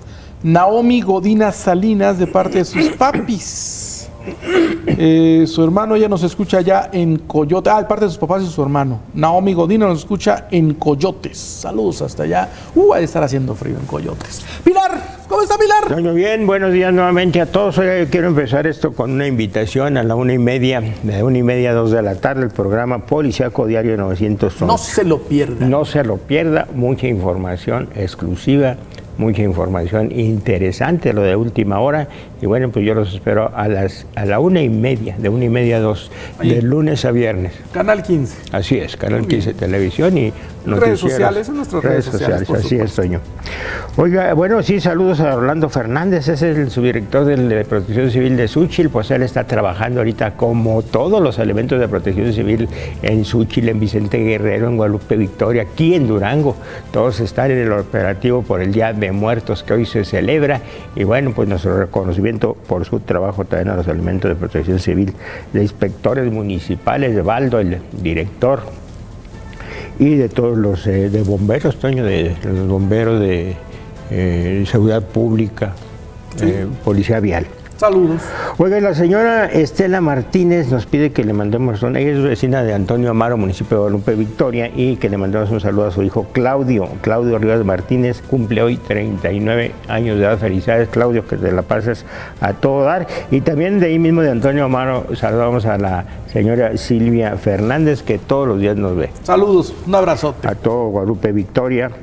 Oiga, bueno, pues la policía por instrucciones de Sonia Yadira de la Garza Fragoso, la fiscal general del Estado, pues en Mayo Montaño, el titular de la Policía Investigadora de Delitos, está ya realizando cambios, cambios de comandancias regionales, desde las seis comandancias regionales del Estado, de las jefaturas del sector o, o comandancias locales y bueno, pues eh, mañana pasado les daremos a conocer que dónde quedó cada uno de estos elementos. Ah, los que dieron buenos resultados, están dando buenos resultados, ahí se van a quedar, los que no los van a cambiar y los que de plano salen reprobados, bueno, pues ahí les van a dar otra comisión de menos riesgo, Toño. Muy bien, Pilar. Oiga, y bueno, pues fíjese que le decimos nosotros que en esta crisis que hay de desaparición de personas en todo México, Toño, incluido en Durango, bueno, pues están buscando a Yajaira Medina Rivera Vera. Es, ella es una mujer de 36 años de edad, vive en la región lagunera, bueno, es originaria de la región lagunera, pero se eh, extravió en Tlaquepaque, Jalisco. Ah, caray. A petición de los familiares, bueno, pues la vicefiscalía de La Laguna emitió esta eh, alerta de búsqueda. A ver, no desapareció en Durango entonces. No, en Tlaquepaque. En Jalisco. Tlaquepaque, Ah, Jalisco, es de la región lagunera, pero la familia pide a, Ah, a la vicefiscalía, oiga, pues una alerta, ¿cómo no? Se le hicieron y ahí Ah, bien, está. bien. Ahí en la página notigram.com verán ustedes eh, todos los datos de media afiliación y cómo viste esta, esta mujer que se encuentra desaparecida allá en el estado de Jalisco. El teléfono que ponen para si alguien la llega a ver es el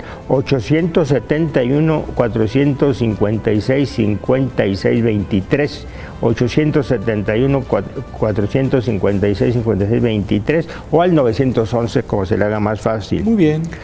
Oiga, y bueno, nosotros aquí la semana pasada le dimos a conocer un feminicidio ocurrido allá en Gómez Palacio, Durango, donde el señor Juan, esto fue la noche del jueves, el jueves de la semana pasada, el señor Juan, bueno, pues ahí en, una, en, un, en un domicilio de la calle 40, Colonia Fidel Velázquez de Gómez Palacio, ahorcó, fíjese, ahorcó a su propia esposa Carmina Medellín Chávez, de 54 años. Y todavía, después de esto, pues por ese sentimiento de culpa seguramente, pues el señor trató de suicidarse. Todo esto se conoció cuando un hijo, un hijo de, de este matrimonio, pues le estuvo llamando primero a la mamá, primero a la mamá, no le contestó, no le contestó. En varias ocasiones, le volvió a llamar, nada, luego le llamó al papá. Y bueno, pues como no le contestó a ninguno, pues eh, fue a la casa, fue a la casa y pues a ver qué estaba sucediendo, pues él traía llave, al ingresar, al ingresar pues encontró a su mamá en una habitación eh, sin vida, estaba asfixiada. Posteriormente buscó al papá y estaba en otra habitación con un eh, cilindro de gas abierto. Él quería suicidarse por medio de intoxicación con gas. Y pues eh, le habló a los números de emergencia. El hijo de ambos, Edwin Alejandro, ya llegaron, llegaron eh, pues, Cruz Roja, Protección Civil, las corporaciones y pues eh, atendieron al señor Juan de 57 años, lo que había descubierto que este fue el que la ahorcó. Y bueno, de- lo detuvieron en flagrancia porque ahí estaba en el, Sí. en el lugar de los hechos, en esos que ocurrieron horas antes, y, y, bueno, pues ya la Fiscalía General del Estado está informando que ya lo vinculó al proceso. Ahí está en entonces prisión el preventiva por presunto feminicidio. feminicida y fallido suicida. Así es. Bueno, así tendrá. La Fiscalía General del Estado nos dice que son 14 feminicidios en lo que va del año. 14. Híjole. Los 14 están esclarecidos. Los 14. Sí. Bueno, el de Lupita falta. Falta, eh, falta uno. Por- No, fa- está esclarecido, falta por detener a una persona. Yo creo que es el Suri. El Suri que andan buscando, yo pienso que ese es el que está sin esclarecer. Sí, sí, sí, sí. Sin detenido, porque ya todo hace suponer, todas las evidencias, falta comprobarlo, es que él es el responsable él y un hermano en el cual están involucrados otros familiares. Toda la familia. Toda la familia. Fíjese Fíjese cómo nomás. llega a un problema familiar, de violencia familiar, cómo llega a involucrar a toda la familia. Que se castigue a todos. Así, a todos los que participaron, a todos los que todos. participaron tienen que castigarse. Así es, todos los Sí. involucrados en el pues asesinato, feminicidio de Lupita Rojas, como hayan ayudado a escapar, a esconder, a- como, hayan ayudado. Así es, a, A esconder todos. los niños. Ya una hermana, ahorita les voy a dar la nota, una hermana y la mamá están detenidas en el Cerezo. Oiga, pero fíjese que de estos feminicidios, algunos de los eh, responsables o presuntos responsables, no se supo, pues están eh, muertos también. Ah, caray. Está el de San Miguel de Cruces, Sí. que la mató y Ah, luego sí. se, se cayó un voladero sí. y murió. Está uno de Canatlán que mató a la señora eh, a balazos, se- se lesionó.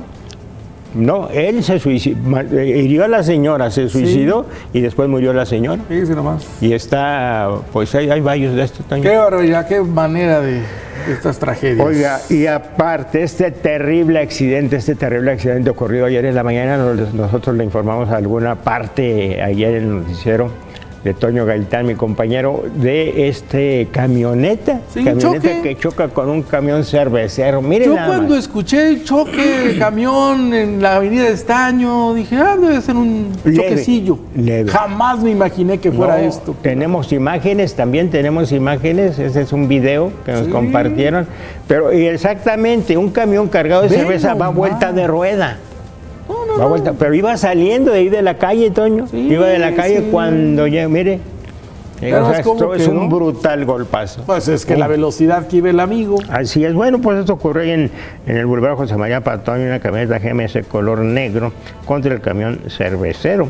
El- ahí la camioneta la conducía, nos dicen, Néstor Manuel Rentería Gra- Graciano, de 25 años, y el ayudante del chofer del camión cervecero, Jorge Enrique Macías Pinedo, resultaron lesionados. Resultaron lesionados, fueron trasladados al Hospital General 450, que está ahí a unos Sí, sí, cuantos sí, metros. Toño, pero pues lamentablemente la gravedad de las lesiones de Néstor Manuel le provocaron la muerte. Los médicos, enfermeras, Ah. eh, aunque lo llevaron rápidamente, lo atendieron primeramente los paramédicos de la Cruz Roja, Protección Civil, no pudo sobrevivir, Toño, y perdió la vida Perdió en la este, vida, en sí, pues, este.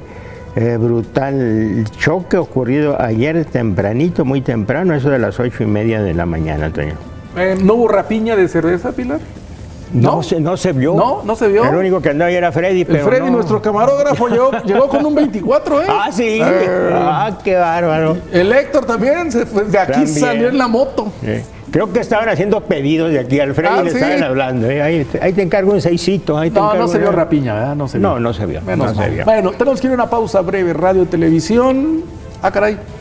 Pues, ah, no, sí, televisión también del Cosmocable, ¿verdad? Cosmocable. Pero aquí, ya estamos ahora sí. En todas las señales. ¿Qué hubo? Ay, milagro. Pero aquí le seguimos en Facebook. Vamos a la pausa breve. Tenemos personal capacitado para arreglar los problemas.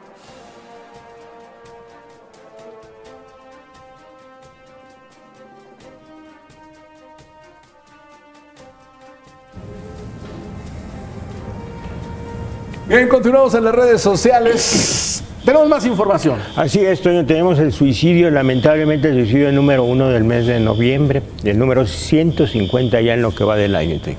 150. Bueno, pues un tremendo susto se llevó a una persona que caminaba ahí por las orillas del poblado 5 de Mayo, ahí de- eh, eh, cerca del cuartel Francisco Villa. cuando pues caminaba, caminaba y encontró colgado de un árbol a un, a un joven pues lo reconoció inmediatamente, lo Claro. reconoció y le llamó a los familiares. Y bueno, pues él se llamaba Saúl Alejandro Hernández Rodríguez, tenía 20 años de edad.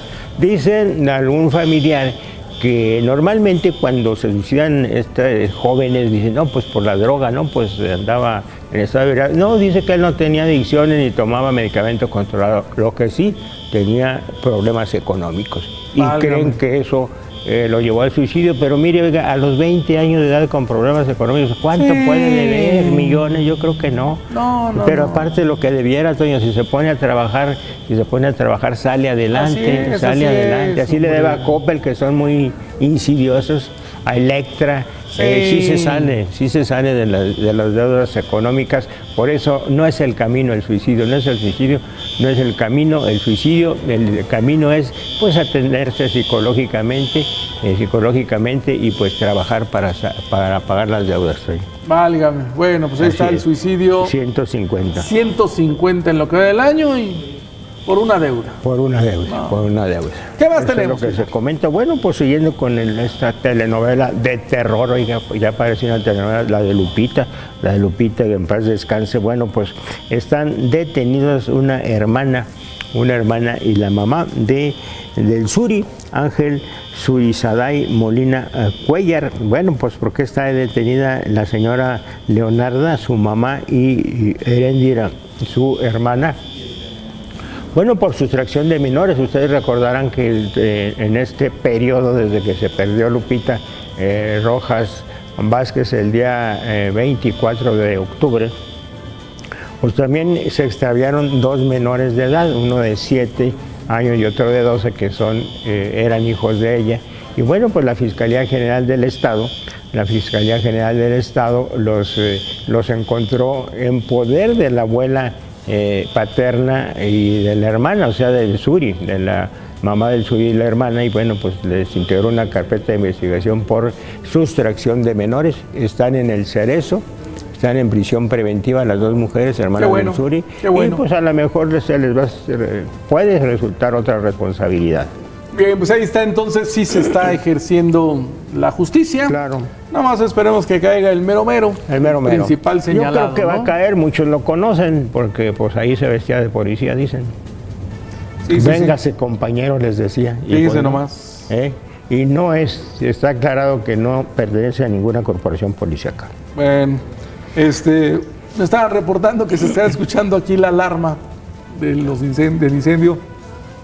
Una falsa alarma. Lo que pasa es que aquí los muchachos andan ahorita con el tema del, del Día de Muertos. El Día de Muertos. Y este, por ahí prendieron algo que... Tenemos altar de muertos, pero tenemos ahí altar una de muertos. ¿eh? tenemos altar. Entonces, Altar para la gente que está escuchando, que estaba escuchando la alarma y decía, oiga, y no se sale el Tony, bueno, ni el Pilar que está haciendo. No, ahí?" somos bien machos. Somos bien, no, no, bien menchos.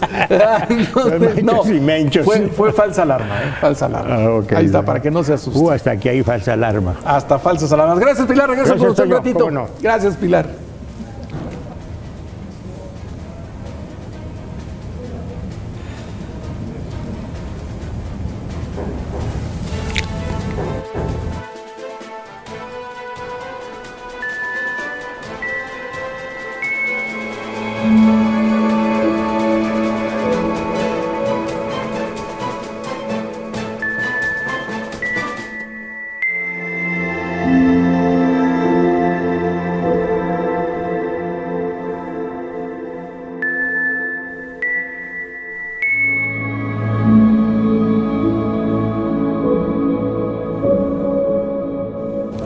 Falleció Josefina Recendis Arreola, tenía 80 años, está velando en privada Tule, número 107, Colonia Azcapotzalco, honras pendientes.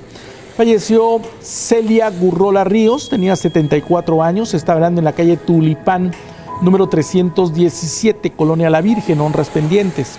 Falleció Julio César Rojas Escobar, tenía 52 años. Se está velando en Capilla Oro, sucursal Dolores del Río, Velatorio Raúl Flores, sus honras a las 12 del mediodía. En el Templo San Juanita de los Lagos se despide en el Panteón de Oriente. Falleció Antonia Monarres, se está velando en domicilio conocido en el Corazón Tepehuanes. Honras pendientes.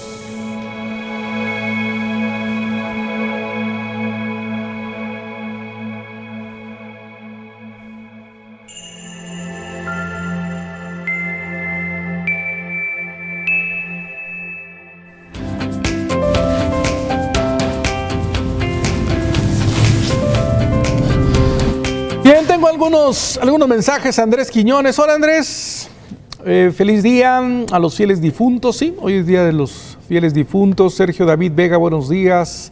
Estela Castro, ya dicen que ya tenemos, estamos en la señal tanto de tele, eh, sin problema, Estela, ¿eh? Socorro Jaques, buenos días. José Ángel Almonte, buenos días. Jimena González, también ya, chécate la tele, por favor, Sote. Cristian Guadalupe, Cristian, también chécate la tele, ya estamos. Adolfo Manuel Solís, Itzel del Campo, Florencio Marrero. Hola, Florencio, ya, chécate la tele. Eh, buenos días. En el caso de Lupita, es falta de valores familiares. ¿Cómo es posible que la mamá, la hermana y el cuñado el hermano del esposo, estén también involucrados, dice Raúl Sandoval. Bueno, pues están también detenidos, o sea, la mamá y el, la hermana están en el cerezo. ¿eh? El esposo de Lupita y el cuñado de Lupita, esos andan prófugos. Es momento de ir, siendo ya las 8 de la mañana con 4 minutos a los deportes con Diego. Gracias, hoy buenos días para todos. Arrancamos con la información deportiva de esta mañana y tenemos que platicar que ya se encuentran listos los primeros clasificados a los octavos de final dentro de la UEFA Champions League en su edición 2022-2023. Vamos a presentar por ustedes en pantalla los equipos que ya están pues con los dos pies eh, en la siguiente ronda y se trata del Bayern Múnich, una potencia alemana que ganó todos sus partidos, los seis cotejos los ganó de forma espectacular, avanza a la siguiente ronda también encontramos al Benfica de Portugal, está también el Chelsea de Inglaterra, el Brujas, el Borussia Dortmund, el Frankfurt de Alemania, el Inter, Liverpool, el City, el Napoli, PSG, Porto, Real Madrid y Tottenham. El día de hoy se van a definir los últimos dos lugares.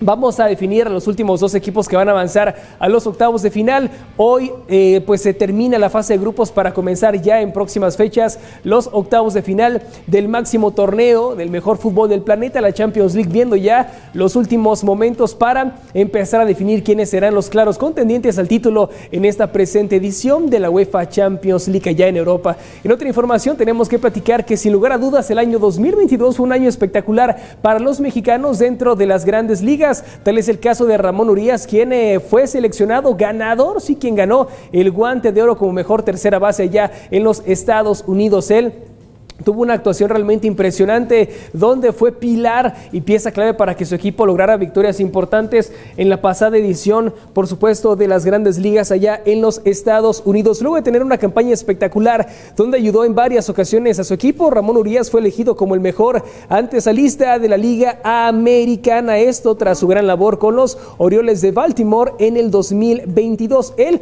es originario de Magdalena de Equino, Sonora y tuvo 403 turnos al bat con 50 carreras y 100 hits. Ahí están los mexicanos haciéndose presentes cada vez más. Vemos a nacidos en nuestro país teniendo gran éxito allá en las grandes ligas. Tal es el caso de Ramón Urias que se convierte en pues el mejor antesalista, el mejor tercera base de la pasada campaña y esto habla muy bien de que México sigue siendo un pionero, ¿no? y un semillero de talento que exporta permanentemente jugadores a la Unión Americana. Ramón Urias de lo mejor que se encuentra hoy por hoy en el béisbol allá en los Estados Unidos. Para terminar tenemos información de Raúl Jiménez. Si es que faltan escasos días, pocas semanas para que arranque el Mundial y los dirigidos por el Tata Martino todavía tienen dudas respecto a la conformación del plantel. Raúl Jiménez está lesionado, pero hay una esperanza de que llegue justamente a la próxima Copa Mundial. ¿De qué depende esto? De que se recupere en las próximas horas. El Tata Martino tiene hasta el próximo 9 de noviembre eh, la fecha para definir y decidir si lo va a contemplar dentro de la lista final o no. El Wolverhampton, su equipo en Inglaterra, dio a conocer a través de estas fotografías que estamos mostrando por ustedes en pantalla que Raúl Jiménez regresó a los entrenamientos a hacer eh, trabajo ahí en la cancha, algunos estiramientos. Estas son buenas señales pero hay que mencionar que tiene el tiempo encima si es que pretende llegar a la próxima Copa del Mundo. Si Raúl Jiménez no logra recuperarse, que es lo más probable, pues ahí están nombres como Henry Martin, que a mi parecer tendría que ser el, el delantero titular de la selección por lo que ha mostrado con el América en esos últimos partidos. Además, También encontramos en esta baraja de, opciones a Funes Mori, que no le mete gol ni al arco iris, pero pues ahí está también dentro de las posibilidades para ser el centro delantero titular de la selección mexicana. Si no llega Raúl Jiménez, no se va a tener tampoco pues, a Javier Hernández, por obvias razones que ya hemos platicado en otros espacios. Además, tampoco se tendría la participación del Tecatito y esto, pues, solamente augura un futuro complicado para la selección que poco a poco se queda sin sus pilares y esto está ocasionando que la afición mexicana todavía no se encuentre pues unida a su combinado tricolor y es que faltan días para que arranque el mundial y la idea, Toño, de que México pueda alcanzar el quinto partido es muy escasa y la gente no se encuentra todavía confiando plenamente en su selección. Bueno, yo no confío, pero bueno. Sí. Esperemos el milagro. Oye, te pregunta Karen Santillán que si no vas a regalar boletos para los Reyes. Sí, Reyes va a jugar este próximo fin de semana, eh, sábado y domingo. Hoy no tenemos boletos, pero lo más probable es que mañana, mañana vamos a dar boletos a, Reyes. Así es. Muchas gracias, mi Gracias, Toño. Buenos días. Gracias, muy buenos días. Y vamos con Javi y los espectáculos. Muy buenos días, Toño. A ti y a todo tu auditorio es un gusto estar eh, con ustedes ya ombligo de semana y pues poniéndole sabor a la mañana con los espectáculos. Y es que mira, tú recordarás que Daniela Spanik, la hermana de Gaby Spanik, hace algunos días tuvo un accidente bueno, antes de subirse a su coche se dice por ahí que un indigente la golpeó o bueno, ah. tal vez ya estaba planeado ese golpe y bueno, justamente el golpe fue en la operación que ella había tenido en la cabeza, ¿no? En esta parte. Entonces, bueno, ya se revela este retrato hablado del presunto agresor y bueno, no para ahí la cosa, porque si lo encuentran o quien logre denunciar a este presunto agresor, bueno, se llevará una recompensa de 100 mil pesos nada más y nada menos. ¿Qué tal, mi Toño? Yo sí lo ando buscando, ¿eh? Pero ¿hay algún dato? ¿Lo golpeó por la espalda? ¿Hay un video? ¿Sabes qué? Eh, justamente ella iba saliendo de un edificio cuando esta persona se acerca en algunas declaraciones o lo que se pudo saber que comentó el chofer o gente que estaba ahí a a su lado es que era un indigente. Pues así va Pero a estar lo raro es que justamente el golpe fue donde ella había tenido una operación en la cabeza.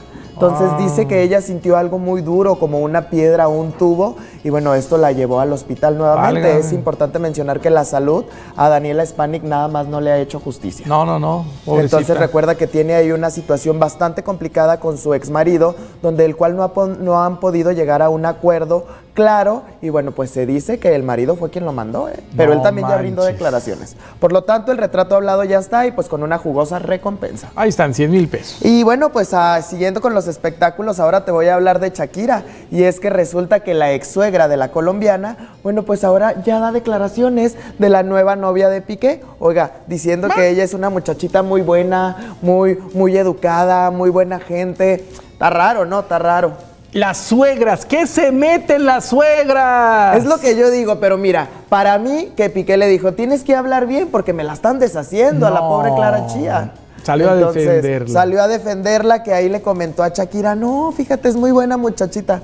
Muy buena muchachita que se metió en una relación sabiendo que el hombre estaba casado. Así es. Digo, pero mira, ahí la opinión de cada quien y pues cómo no, la mamá cuervo tiene que defender a su hijo porque pues ya lo deshicieron. No, pues, eso no le ayuda. No le ayuda para nada. Mi querido Toño, y ya para finalizar, bueno, te platico rápidamente que Niurka Marcos, mamá New, la mujer escándalo, por fin da declaraciones de que terminó ya su relación con Juan Vidal. Y bueno, a su muy estilo, dice que es como un papel de baño, porque pues te la pasas desgastándolo después de cada visita al, baño, ¿no? Entonces así lo dijo ella, muy a su estilo. Mi, mi Marcos sin duda, pues la conocemos, nos divierte, nos cae muy bien, pero pues sus palabras a veces sí son fuertecitas. Ahora dice que Juan Vidal fue una, ¿cómo decirlo? Una suciedad, vaya, con Cintia Clitbo, con ella y con la otra con la que tuvo una hija. Sin duda, mi Toño, pues esta mujer escándalo nos da muchísimo de qué hablar todos los días. Esa niurca bastante polémica. Gracias, Javi. Nos vemos al rato, Toño. Ahorita regresamos. Vamos a una pausa. Hay riesgo de que mañana no haya clases. Ahorita le platico.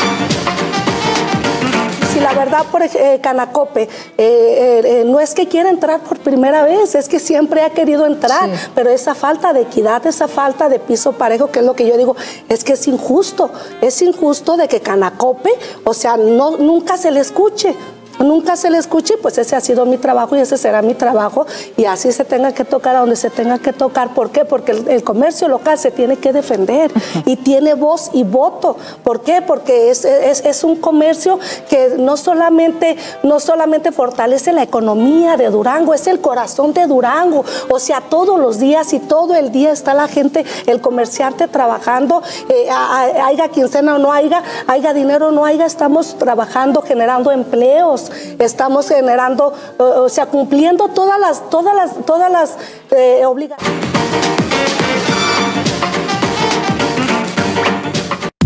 Overwatch 2 ya ha superado los 25 millones de jugadores. A pesar de los problemas técnicos que el juego ha experimentado desde su lanzamiento el pasado 4 de octubre, Overwatch parece estar más vivo que nunca, con muchos jugadores nuevos y antiguos probando este nuevo formato. Overwatch 2 ha triplicado por el momento los picos de usuarios diarios que tenía el juego original. Cabe destacar, eso sí, que el Overwatch original era un juego de pago que se lanzó a precio completo y este nuevo es free to play. O sea, tendremos un déficit de 300 millones en septiembre, 300 en octubre, 300 en noviembre y 1.300 millones en diciembre sin hacer nada, Toño, nomás para pagar las nóminas. Entonces, es frustrante llegar con el secretario de gobernación o con el presidente y decirle, ayúdame con 2 mil millones. Sí. Y que te digan, oye, ¿y para qué los quieres? ¿Qué vas a hacer? Nada. ¿Cómo? No es nomás para pagar la nómina y los aguinaldos con dos mil millones hacemos nosotros solo la presa del Tunal 2. Así es. O, le metemos a la tecnificación del campo. Este, imagínate lo que podríamos hacer con ese dinero. Entonces, pero bueno, hay que cerrar. Ya nos llegaron los primeros 350 millones de esos dos mil.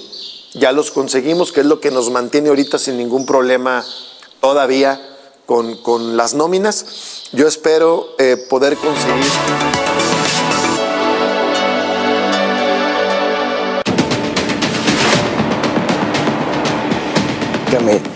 ¿a qué enfocaste tus estudios? Eh, decidí estudiar la carrera de licenciado en administración en el Tecnológico de Durango. Pensé que era una, un breve espacio de mi carrera profesional, pero aquí también se me volvió a atravesar la política. Y por eso eh, traté de estudiar, hacer lo mejor posible. Egresé del tecnológico, me titulé, seguí con el tema de los posgrados que te compartía pero yo creo que esta fue la punta de lanza de mi carrera y mi profesión en la política. ¿Y tuviste alguna vez? Sí, muchas veces. La verdad, en mi casa, mi madre siempre intentó, fue tema de pleito en la casa. Ella fue licenciada en Derecho y ella siempre intentó y hasta me forzó eh, a estudiar la carrera de Derecho, particularmente en la FED, en la FADER, pero yo tenía decidido.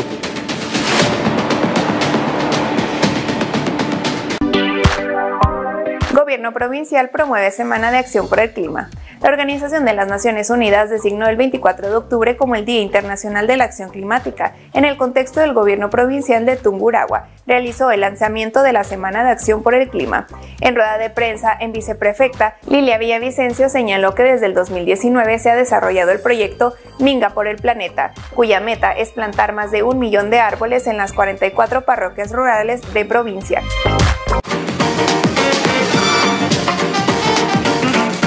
Yo la importancia que tienen los tianguis, la importancia que tienen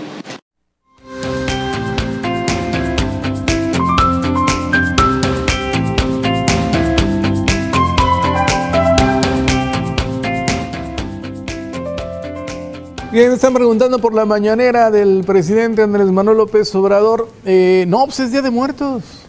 Y pues también el presidente tiene sus sus muertitos. Incluso le voy a compartir un video para que ustedes vean al señor presidente Andrés Manuel López Obrador.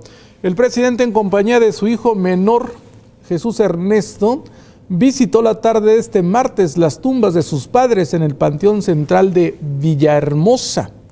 También asistió al recinto memorial que se localiza en el extremo de la capital tabasqueña para estar en la bóveda de su esposa fallecida, Rocío Beltrán, madre de sus hijos José Ramón, Andrés y Gonzalo López Beltrán. El mandatario estuvo algunos minutos frente a las bóvedas de su eh, madre, Manuela Obrador, y de su padre, Andrés Manuel. Luego se trasladó al sitio donde yace su primera esposa, para luego partir por carretera a su hacienda en Palenque, Chiapas. Al salir del cementerio, atendió algunas peticiones de sus paisanos. Se negó a hablar de política con la prensa. Dice, no, no, no, no vine a eso. Sus seguidores le pidieron algunas fotografías y bueno, finalmente se despidió el presidente Andrés Manuel López Obrador. Sí, pues es un día inhábil, es un día de tradiciones mexicanas y es un día que el presidente de la República pues también aprovechó para ir a visitar a sus fieles difuntos. Y ya que estamos hablando de la muerte, ¿cuáles son las principales causas de muerte de los duranguenses? Bueno, la COVID-19, primerísimo lugar en el año pasado, el cáncer. Y hay un enemigo silencioso, se trata de la diabetes. ¿Sí? Estos hábitos alimenticios, malos hábitos, y esa falta de ejercicio nos ha llevado pues a tener obesidad, problemas de hipertensión, problemas de diabetes y eso pues nos lleva a malas condiciones de salud. El COVID-19 y el cáncer son las causas de muerte de los duranguenses, según el INEGI, más comunes. Sin embargo, la población considera que la diabetes es la enfermedad que puede adelantar la muerte de una persona por los malos hábitos. Las principales causas de muerte fueron enfermedades del corazón, tumores malignos y diabetes mellitus. En 2020 en México fallecieron 1.086.743 personas, de las cuales 59% son hombres y 41% son mujeres. ¿Alguna anécdota, algún tipo de experiencia con el COVID o cómo lo pasó con, el, COVID? COVID? No, gracias a Dios que no, porque siempre me puse las vacunas a tiempo. Y, este, familiares cercanos? Familiares, no, gracias a Dios que no. Ahorita, este, precisamente allá en el rancho está un hermano mío que está falleciendo, pero es de cáncer en la próstata. También estuvo en el seguro y lo echaron porque ya no tenían nada que ofrecerle, que atenderlo, que darle, pues. Y estaba falleciendo mi hermano, estamos esperando el momento que... Sí. ¿Cree que es más común el cáncer que el COVID aún entonces? Pues para mí es igual, es más agresivo el, el cáncer, ¿verdad? Porque si fuera el COVID, el COVID a lo mejor más pronto tenía fin aquella, aquella persona, pero el cáncer ahí lo tiene, ahí lo tiene, ahí lo tiene, hasta que lo invade completamente y hasta entonces fallece ya. Últimamente el COVID y anteriormente pues cualquier otra, porque hay muchas, el cáncer, la diabetes, pero ahorita últimamente sí el COVID. ¿Usted ha tenido alguna experiencia o tuvo una experiencia con el COVID? Personalmente no, pero familiarmente sí, mi esposa, mi mamá, mis hermanos, sí. ¿Algún familiar falleció?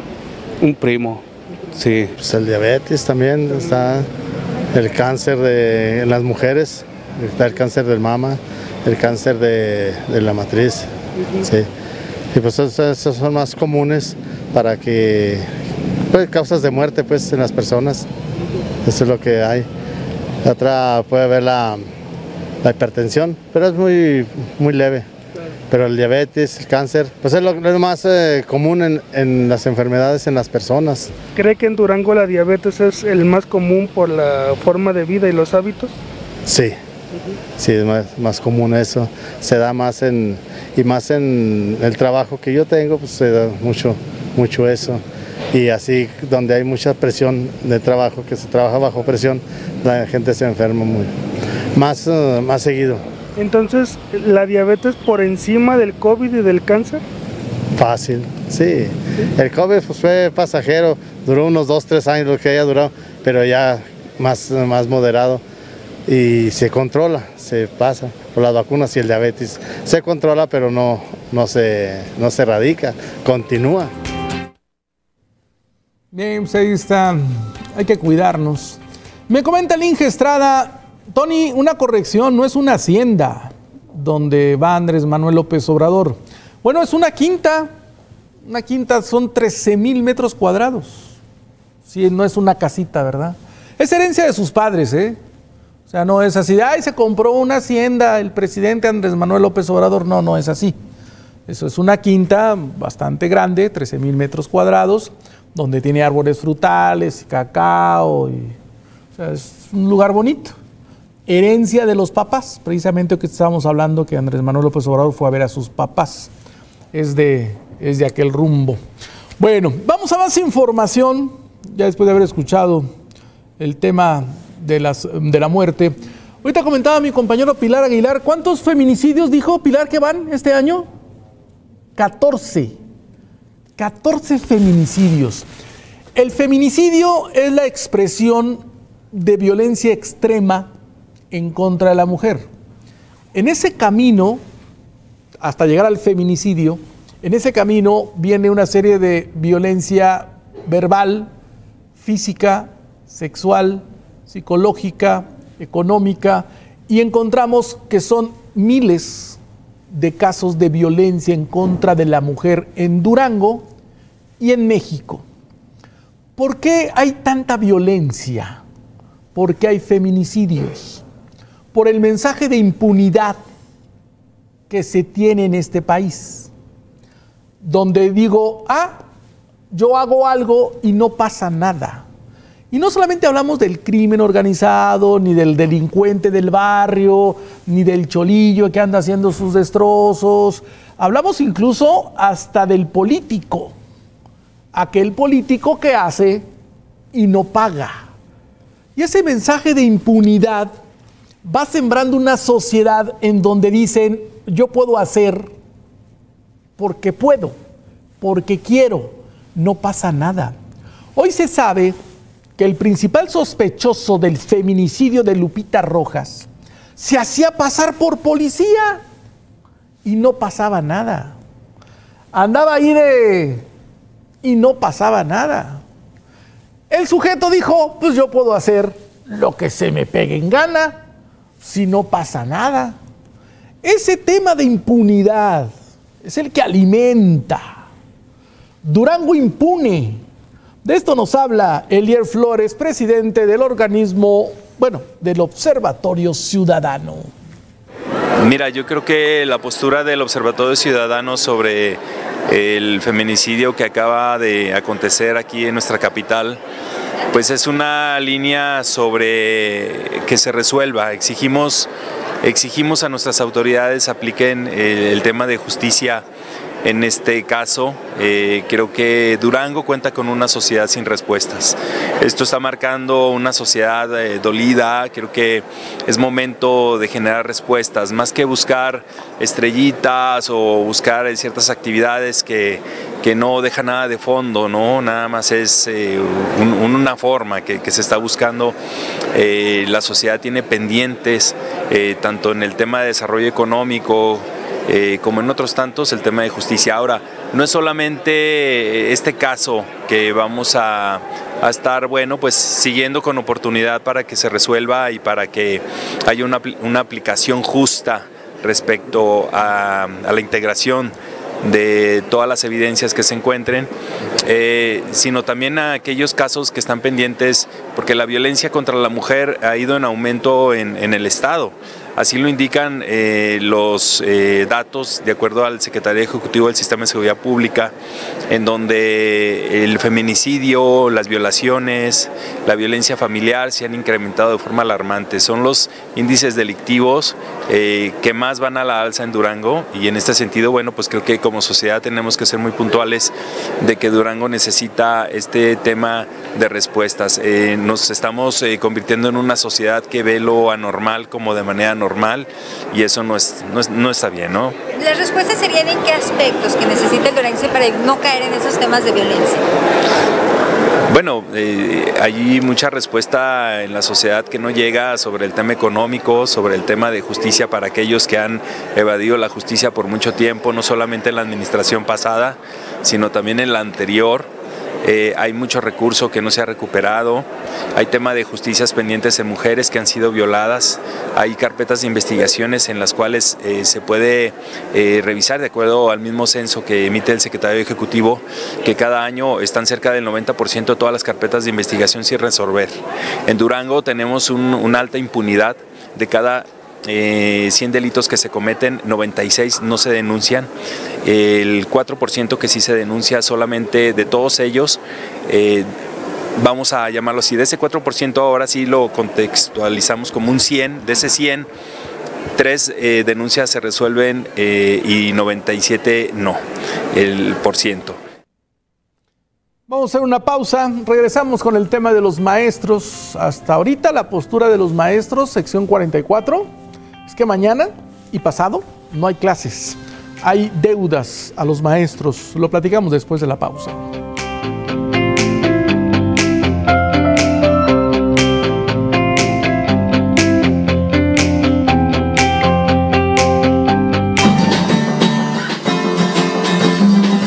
Nada que ver con la, con la, con la manzana por ahí que nos compartió. ¿Hay manzana pirata en el mercado que dice Canatlán y no es de Canatlán? Pues bueno, la piratería es, es no necesariamente que no sea de Canatlán. Lo que pasa es de que sucede un fenómeno en todo el mundo de que los consumidores, por ejemplo, en Argentina de manzana, estuvimos hace cinco años allá en Buenos Aires, sí. igual íbamos al, supermercado y veíamos pura manzana chafa y les decía, bueno, ¿y dónde está la...? No, no, pues que aquí, no, pues esto es lo que hay. Igualito que en Durango, ¿sí? Porque aquí hay un almacén, un, un súper, sí. que le compra manzanas a la integradora, ¿sí? Es de Chihuahua y está en varios puntos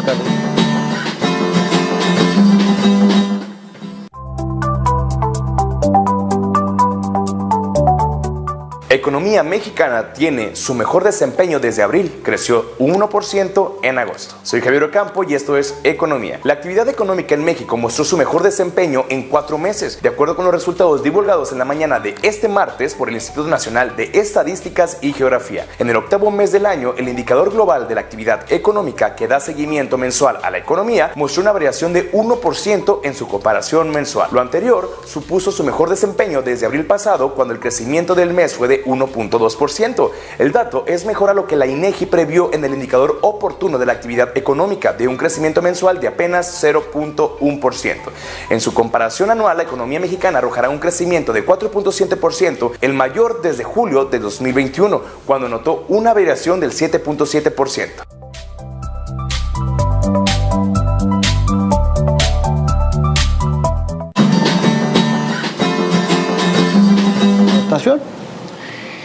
Nosotros eh, cada vez somos más presas de, las agrotecnologías, pero también de los productos milagro, como, pasa en la medicina.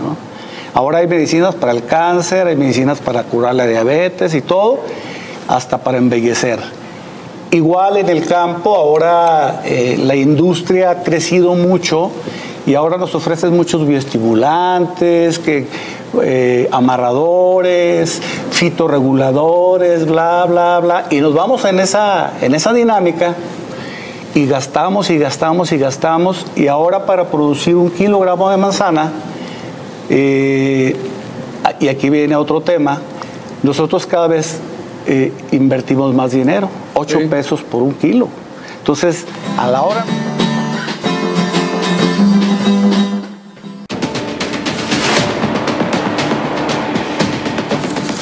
Eh, jamás a mí se me ocurriría abandonar las filas de mi partido para abanderar otra causa.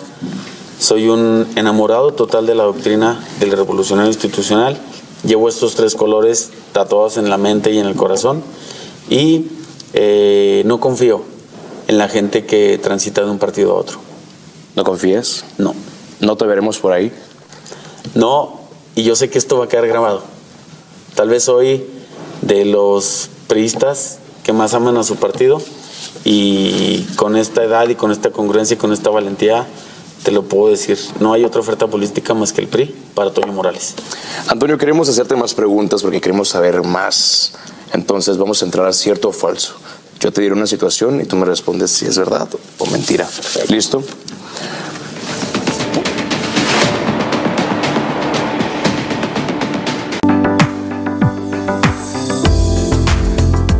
Nódulo pulmonar, síntomas, detección y tratamiento de la dolencia. Un-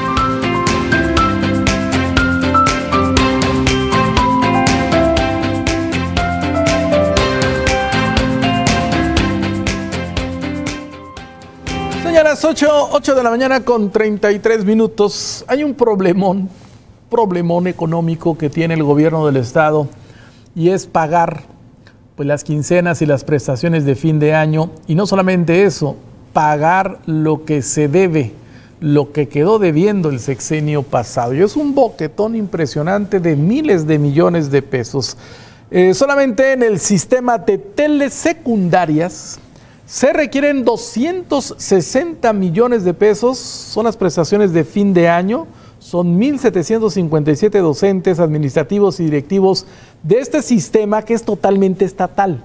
Aquí sí no entra nada del recurso federal. Son 260 millones, así nos lo comenta su titular Didi Neder Fonseca. Aproximadamente 260 millones de pesos nosotros necesitamos para el cierre de año. Son 1.757 docentes administrativos y directivos y personal de apoyo. Pues aproximadamente el techo presupuestal completo es de 890 millones de pesos anual. Sí, lo hemos estado haciendo, definitivamente estamos buscando cómo hacer más con menos y que podamos ir trabajando con, pues, con lo que vayamos teniendo, ¿verdad? Buscando gestión, donaciones, que es lo que hemos realizado hasta el momento.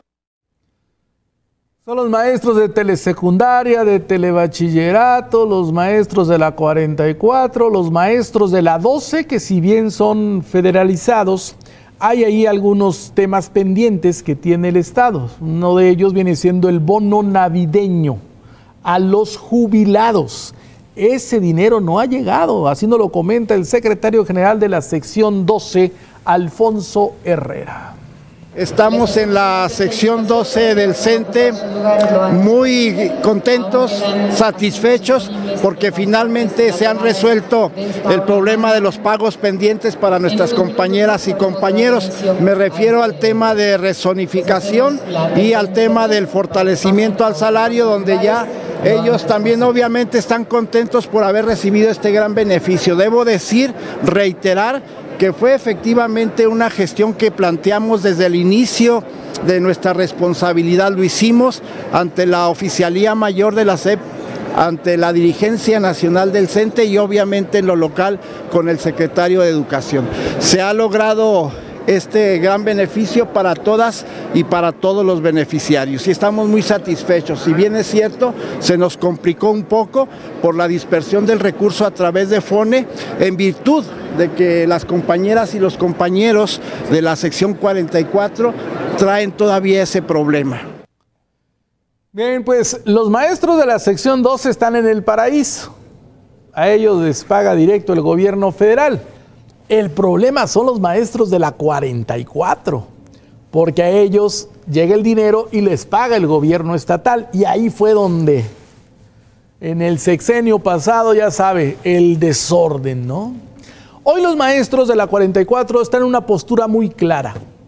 O les pagan hoy lo que les deben, son 200 millones de pesos, porque ya ve que el gobernador Esteban Villegas les propuso pagárselos en abonos, en cuatro pagos quincenales. ¿Por qué? Porque es lo que tiene el gobernador. O sea, no es que él no quiera, es porque es lo que tiene. Finalmente, o sea, es más, no tiene, más bien, está en la gestión para poder ir resolviendo paso a pasito, ¿no? Entonces, Esteban Villegas ofreció lo que tiene. Los maestros de la 44 dijeron, no, señor, no tenemos la culpa de lo que hicieron en el pasado, no tenemos por qué seguir pagando los platos rotos, no somos Electra para que nos paguen en abonos chiquitos. O nos pagan hoy, o mañana no hay clases en las escuelas de los maestros de la 44, que son 2.000 escuelas. Y no les pagan hoy, y no va a haber clases mañana jueves, y tampoco viernes, y quién sabe qué pase la próxima semana. Esa es la postura de ellos que han expresado a través de diversos eh, comunicados publicados en sus redes sociales. Platicamos con el secretario de Educación, Guillermo Adame, y él pues entiende, pero pide sensibilidad a los maestros porque cuando se van a paro, cuando hay suspensión de clases, pues son los niños y son los jóvenes quienes se ven afectados. Si es así, lo entenderemos. Nunca estaremos de acuerdo que se afecten las clases de los miles de niños que ellos no tienen la culpa de las actuaciones de, gobiernos sin sensibilidad social, que no supieron dejar un sistema educativo estable. Los niños y los jóvenes no tienen la culpa, pero más sin embargo, si llegara a darse esta situación, tendría nuestra comprensión ya que efectivamente pues es un asunto que requiere recursos económicos que en este momento no los tenemos para poderlos cubrir en un solo pago. Estamos ah, hablando de un tercio del sistema educativo, son los, los maestros estatales, estamos hablando de alrededor de 1.500 escuelas. Bien, pues vamos a ver qué pasa en las próximas horas. Le estaremos informando de manera muy oportuna, papás, mamás, si hay clases o no mañana y el viernes. En más información, pues se espera mucho de que el gobernador Esteban Villegas logre resolver los problemas que tiene Durango, que son muchos. Se requiere dinero. Pedro Silerio, regidor capitalino, dice que Esteban tiene buena relación con AMLO, con el presidente, y espera que esa buena relación se vea reflejada en programas para el campo, que viene siendo el sector de Pedro Silerio del actual gobernador, del doctor Esteban Villegas, eh, pudiéramos tener una mayor posibilidad. Eh, mejor relación, regidor, del eh, gobernador con el... Pues de, manera definitiva, yo creo que a, 50 días que, que todavía este, está la administración arrancando, si hay, si hay este, buenos pronósticos de buena relación con, con la parte federal, con la federación, y esto definitivamente favorece a Durango porque pues Durango la mayor parte de su presupuesto, de lo que aquí este, eh, se lleva a cabo en programas, pues es precisamente de la parte federal. Hablábamos en el tema de seguridad pública, cómo desaparecieron algunos programas y que pues eh, hoy en día están en eh, situación muy difícil la parte de seguridad pública municipal en su equipamiento y que pues tenemos que gestionar lo que hace el propio gobernador, gestionar ante la federación y hoy yo pienso que sí hay una mejor relación eh, y, esto debe favorecer también al tema rural del campo. Se debe reflejarse también en presupuestos. Debe reflejarse en presupuesto porque pues amor que no se refleja en presupuestos pues está complicado.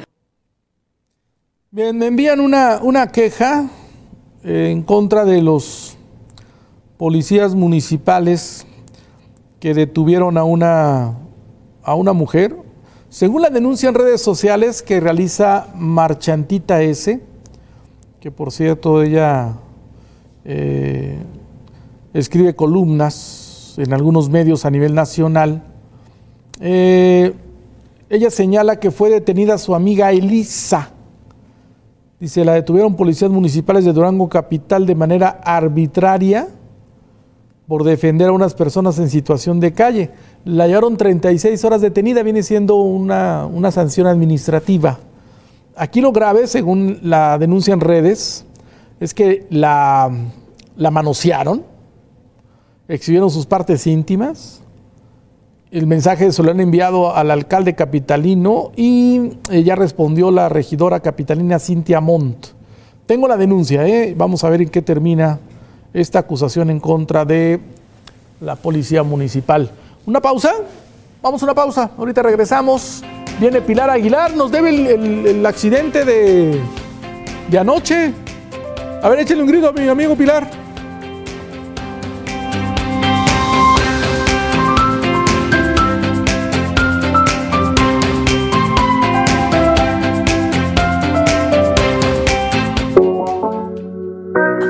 Crisalet y te tengo algunos consejos acerca de nuestro estilo de vida. Conforme avanza nuestra vida nos damos cuenta de que nuestros hábitos nos han llevado hacia un estado de salud bueno o malo. Esto es porque si hemos estado llevando hábitos poco saludables, debemos modificar nuestro estilo de vida. Así que aliméntate sanamente. Alimentarnos sanamente debe ser un hábito que forjemos desde jóvenes. Sin embargo, es de especial importancia cuando somos adultos. Mueve tu cuerpo diariamente, practica algún deporte, camina, nada o realiza cualquier otra actividad que te mantenga en movimiento. Esto ayuda a fortalecer tu masa muscular. De hecho, la poca fuerza muscular está relacionada con un mayor riesgo de muerte después de los 50 años, independientemente de los niveles generales de salud. Evita consumir sustancias dañinas para tu salud como el cigarro o el alcohol. Realiza actividades relajantes cuando sientas ansiedad o estrés. Cambia tu estilo de vida por vivir plenamente. No permitas que los malos hábitos perjudiquen tu vida. Mejóralos para mejorar tú. Elegir un disfraz para el día de Halloween que haga soñar a los niños puede ser una tarea complicada. Es por eso que a continuación te presento los mejores diseños. Unicornio. Los disfraces de unicornio se han puesto de moda entre las pequeñas de la casa. Policía. Muchos niños quieren ser policía de adultos, pero con este disfraz no tendrán que esperar a crecer. Superhéroe. A los pequeños aficionados de los Vengadores les encantará estos trajes de Capitán América y Iron Man. Los enjambres de abejas podrían llegar a modificar el clima. Los insectos pueden electrificar el aire hasta 1000 voltios por metro, tanto como una nube de tormenta. Este tipo de electricidad contribuye a configurar los fenómenos meteorológicos. La atmósfera de la Tierra está electrificada en mayor o menor medida, incluso cuando hay tormentas. Y si bien se sabe que estos campos eléctricos responden a procesos físicos y geológicos, hasta hace poco no se había considerado el efecto de las fuentes bióticas, es decir, los procedentes de los seres vivos, porque los organismos también producen campos magnéticos o eléctricos, eventos llamados potenciales de acción que se originan en varios tipos de células animales que se denominan células excitables desde neuronas a células musculares, pasando por células endócrinas. Se ha desarrollado un modelo que se puede predecir la influencia de estas cargas procedentes de varias especies de insectos. Soy Ana Espinosa, continúa en 15 TV.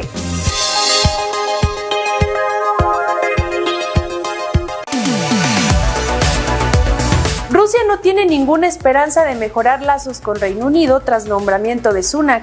Yo soy Fernanda Andrade y esta es información internacional.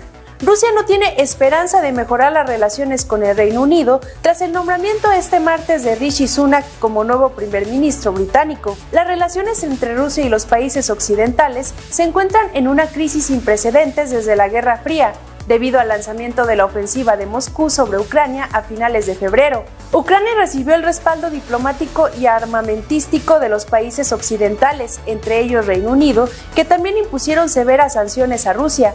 Además, soldados ucranianos recibieron formación de instructores británicos en Reino Unido antes de ir a combatir a las tropas rusas en su país. Esta fue información internacional, yo soy Fernanda Andrade y nos vemos a la próxima.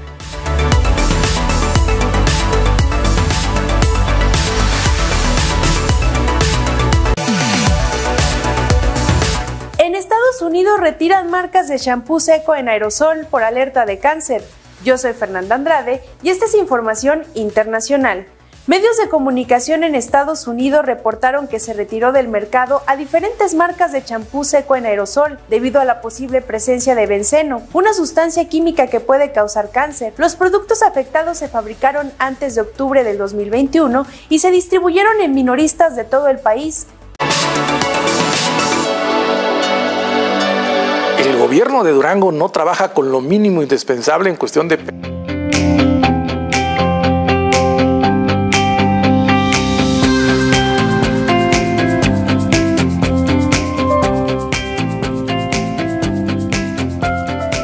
Bien, vamos a... Tengo algunos comentarios. Eh, me están preguntando, a ver, si mi carro cae en un bache, se me tronó una llanta y la suspensión es- empezó a sonar, el, ah, la suspensión empezó a sonar, ¿el gobierno lo tiene que pagar? Dice Héctor Aguilar Pasilla, sí, sí el gobierno te paga el desperfecto Héctor Aguilar, pero hay que demostrar precisamente que fue en ese bache y tienes que tener la evidencia, presentas una denuncia en los tribunales de lo contencioso o acudes directamente a la Contraloría Municipal y dices, oiga, sucedió esto, aquí tengo la información. Sin, de otra manera, este, ya si te moviste del lugar y te fuiste, ahí se te va a complicar. Rosario Moreno dice, no entiendo los datos de los maestros de tele. Se dice que son 260 millones para 1.500 trabajadores y solo se paga lo de fin de año. No, lo que resta. Noviembre, diciembre, bono, vacaciones, aguinaldo, prestaciones, no es solamente eso. Entonces, échele pluma. Y no solamente son los maestros, estamos hablando de todos los trabajadores del sistema. Ahorita, lo, si quieres, le echamos una multiplicadita. ¿Saben qué? Voy a bien rápido con Pilar, porque si no, luego no me alcanza a contar bien lo del accidente de anoche. Oiga, Toño, ¿Qué del, accidente de acá del enfrente del, del, del Estadio. Francisco. Sí, bueno, pues ahí se accidentó un vehículo, quedó, es una volcadora, estamos eh, solicitando Más información. Más información. Ahí tenemos el videíto, muchachos. Tenemos un video, tenemos un video de este accidente. A ver, pero va, Ahí va- está. ah, choca con un auto estacionado. Así es, choca con un auto Ah. estacionado y luego se volca y bueno, pues ahorita estamos solicitando eh, la información correspondiente. ¿eh? Ahí está la policía. Exceso de velocidad, Pilar. Exceso de velocidad, falta de precaución, Toño. Claro. Así es. Generalmente están No hay los accidentes, no hay Tenemos que tener precaución al conducir. Oiga, y el caso este de la denuncia que le llega, Toño. Sí, señor. Estamos eh, tratando de contactar a la agraviada personalmente para que nos dé su versión. Claro. También estamos solicitando eh, información a la Dirección Municipal de Seguridad Pública sobre ese caso. Nos dicen que a las 9 de la mañana van a ir a presentar una denuncia en asuntos internos, Asuntos que es la instancia que Claro. atiende este eh, eh, los casos de presunta ag- agresión. Un exceso policíaco. Exceso ¿no? policíaco. Sí, tengan la seguridad de que van a investigar y va a ser sancionado el que resulte responsable. A eso se dedica esa Claro. dependencia. Hay, hay algunas fotografías de la persona que está denunciando exceso y sí se ve se ve golpeada. ¿eh? Se ve golpeada. Sí, así se ve es. golpeada. Así se ve, No sí sé se si- ve golpeada, sí las, sí las eh, observé ahí. Sí, sí, y sí. precisamente pues, son los casos que indignan, por eso lo vamos a eh, investigar con toda seriedad. A ver, déjenles comparto las, las imágenes, muchachos. Ahí está en uno de los tweets, en ese es un hilo de tweets. El segundo me parece que es donde comparten la, fotografía de esta mujer que dice fue detenida sin ninguna razón. Al parecer defendió a unas personas, unos indigentes, la policía tuvo algún altercado y vámonos, se la llevan. Así estoy yo. A ver qué Vamos pasa. a investigar. Vamos a investigar. Oiga, Toño, bueno, ver, po- eh, tenemos las imágenes, ahí está la ahí mujer. está, ahí está. Sí oiga, está golpeada. No, muy golpeada, muy golpeada. Ella dice que por los policías. por los policías. Y que la la manosearon. manosearon y- y, todo eso. Mal, Todo mal. eso lo vamos a investigar hoy, Toño. Ok, ahí están los Dale. polis municipales. Oiga, Toño, y bueno, la Policía Investigadora de Delitos detuvo allá en el Mezquital, en el poblado San Pedro Jícora, de Jícora, detuvo a Flavio, él está acusado de violar a una persona. Y también en el poblado La Ventana detuvieron a un juez por abigeo. ¿A un juez? A un juez de cuartel. Mírale. Abelino, ¿Qué se había robado Abelino? siete vacas, dice que porque los dueños de esas vacas le mataron un hijo a pedradas y que él se desquitó robándole sus. Robándole las vacas. Así es. Braulio Cisneros, Braulio Cisneros es el, el comandante del Mezquital. Era. Porque el gobernador Esteban Villarreal dijo, a mí me mandan a mi tierra San Juan de Arreón, jefe de la Policía Investigadora de Delitos competente. Ok. Que respete los derechos humanos, que investigue, que trabaje con toda energía, pero que respete los derechos humanos de la Qué gente. bueno. Y lo mandaron a Braulio. Ok, estamos al pendiente. Ya nos vamos, muchachos. Nos vamos ya, nos vamos con los pilones. Y ahí vienen los muertos. A ver, mi querida Nay, ¿de qué vienes? De Catrina. De Catrina. De Catrina. Ah. Les dije que era el pilón. El Catrín. La Catrina. La Catrina y el Catrín. Catrín. ¿eh? ¿Ya checaron el dato? ¿Eh? Anay, nos vamos. Yo tengo un video personal, muy personal. Ah, ok. Hoy, que es Día de los Muertos, ayer fue Día de los Angelitos, es mi hermanito. Ah. Mi hermanito, un video de allá están mis papás en Muy su bien. tumba y una foto de él. Oh, allá no lo están sabía. festejando y pues con toda la alegría, recordándolo Ah. con toda la alegría. Él sabe perfectamente que lo extraño mucho y aquí se siente presente siempre. Claro, pues, ¿cómo se llamaba tu hermanito? Isaac O'Neill, como basquetbolista. Isaac O'Neill, bueno, O'Neill. pues un abrazo para ti, para tu familia, Nay, lo siento mucho, ¿eh? Nosotros bueno, lo recordamos con mucho cariño. Ahí está. Y pues, ¿qué más? Qué felices. Sí, sí, sí, ahí está el pequeñín.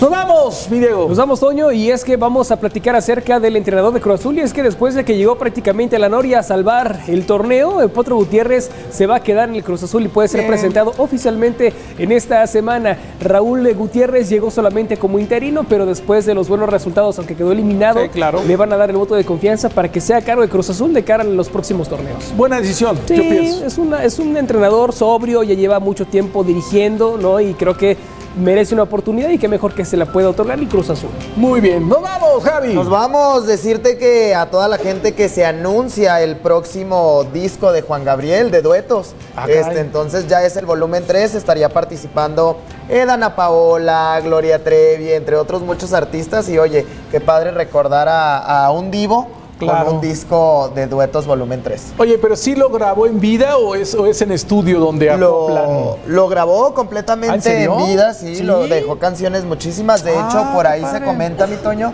que grabó un disco con, este, perdón, una canción con Yuridia, Ah. pero que no la sacó porque era muy, había superado a Rocío Durcal. Ah. Entonces dijo, no la saco porque esa canción es de la señora Rocío Durcal. Ah, caray, pues sería interesante que la sacaran. Sí, ¿no? estaría muy bueno. Ojo, yo creo que sí la van a sacar. Por ahí se dice que también viene el dueto con Belinda, ¿eh? Ah, sí. Sí, que lo grabaron juntos. Separados, pero juntos. Pero juntos, ok, muy bien, nos vamos, Pilar. Ok, Toño, bueno, el secretario de Seguridad Pública, Oscar Galván Villarreal, está informando que detuvieron otros dos eh, presuntos puchadores en Gómez bueno. Palacio, Durango. Uno de ellos se llama Jesús, tiene 15 envoltorios con cristal y dice que ya son 40, 40 presuntos distribuidores de droga detenidos en lo que va de su gestión. Muy bien, pues bien. 20 a la fecha. Bien por la detención de los vendedores de droga. Ya nos vamos. Que tengan ustedes un excelente Miércoles. miércoles, Día de Muertos.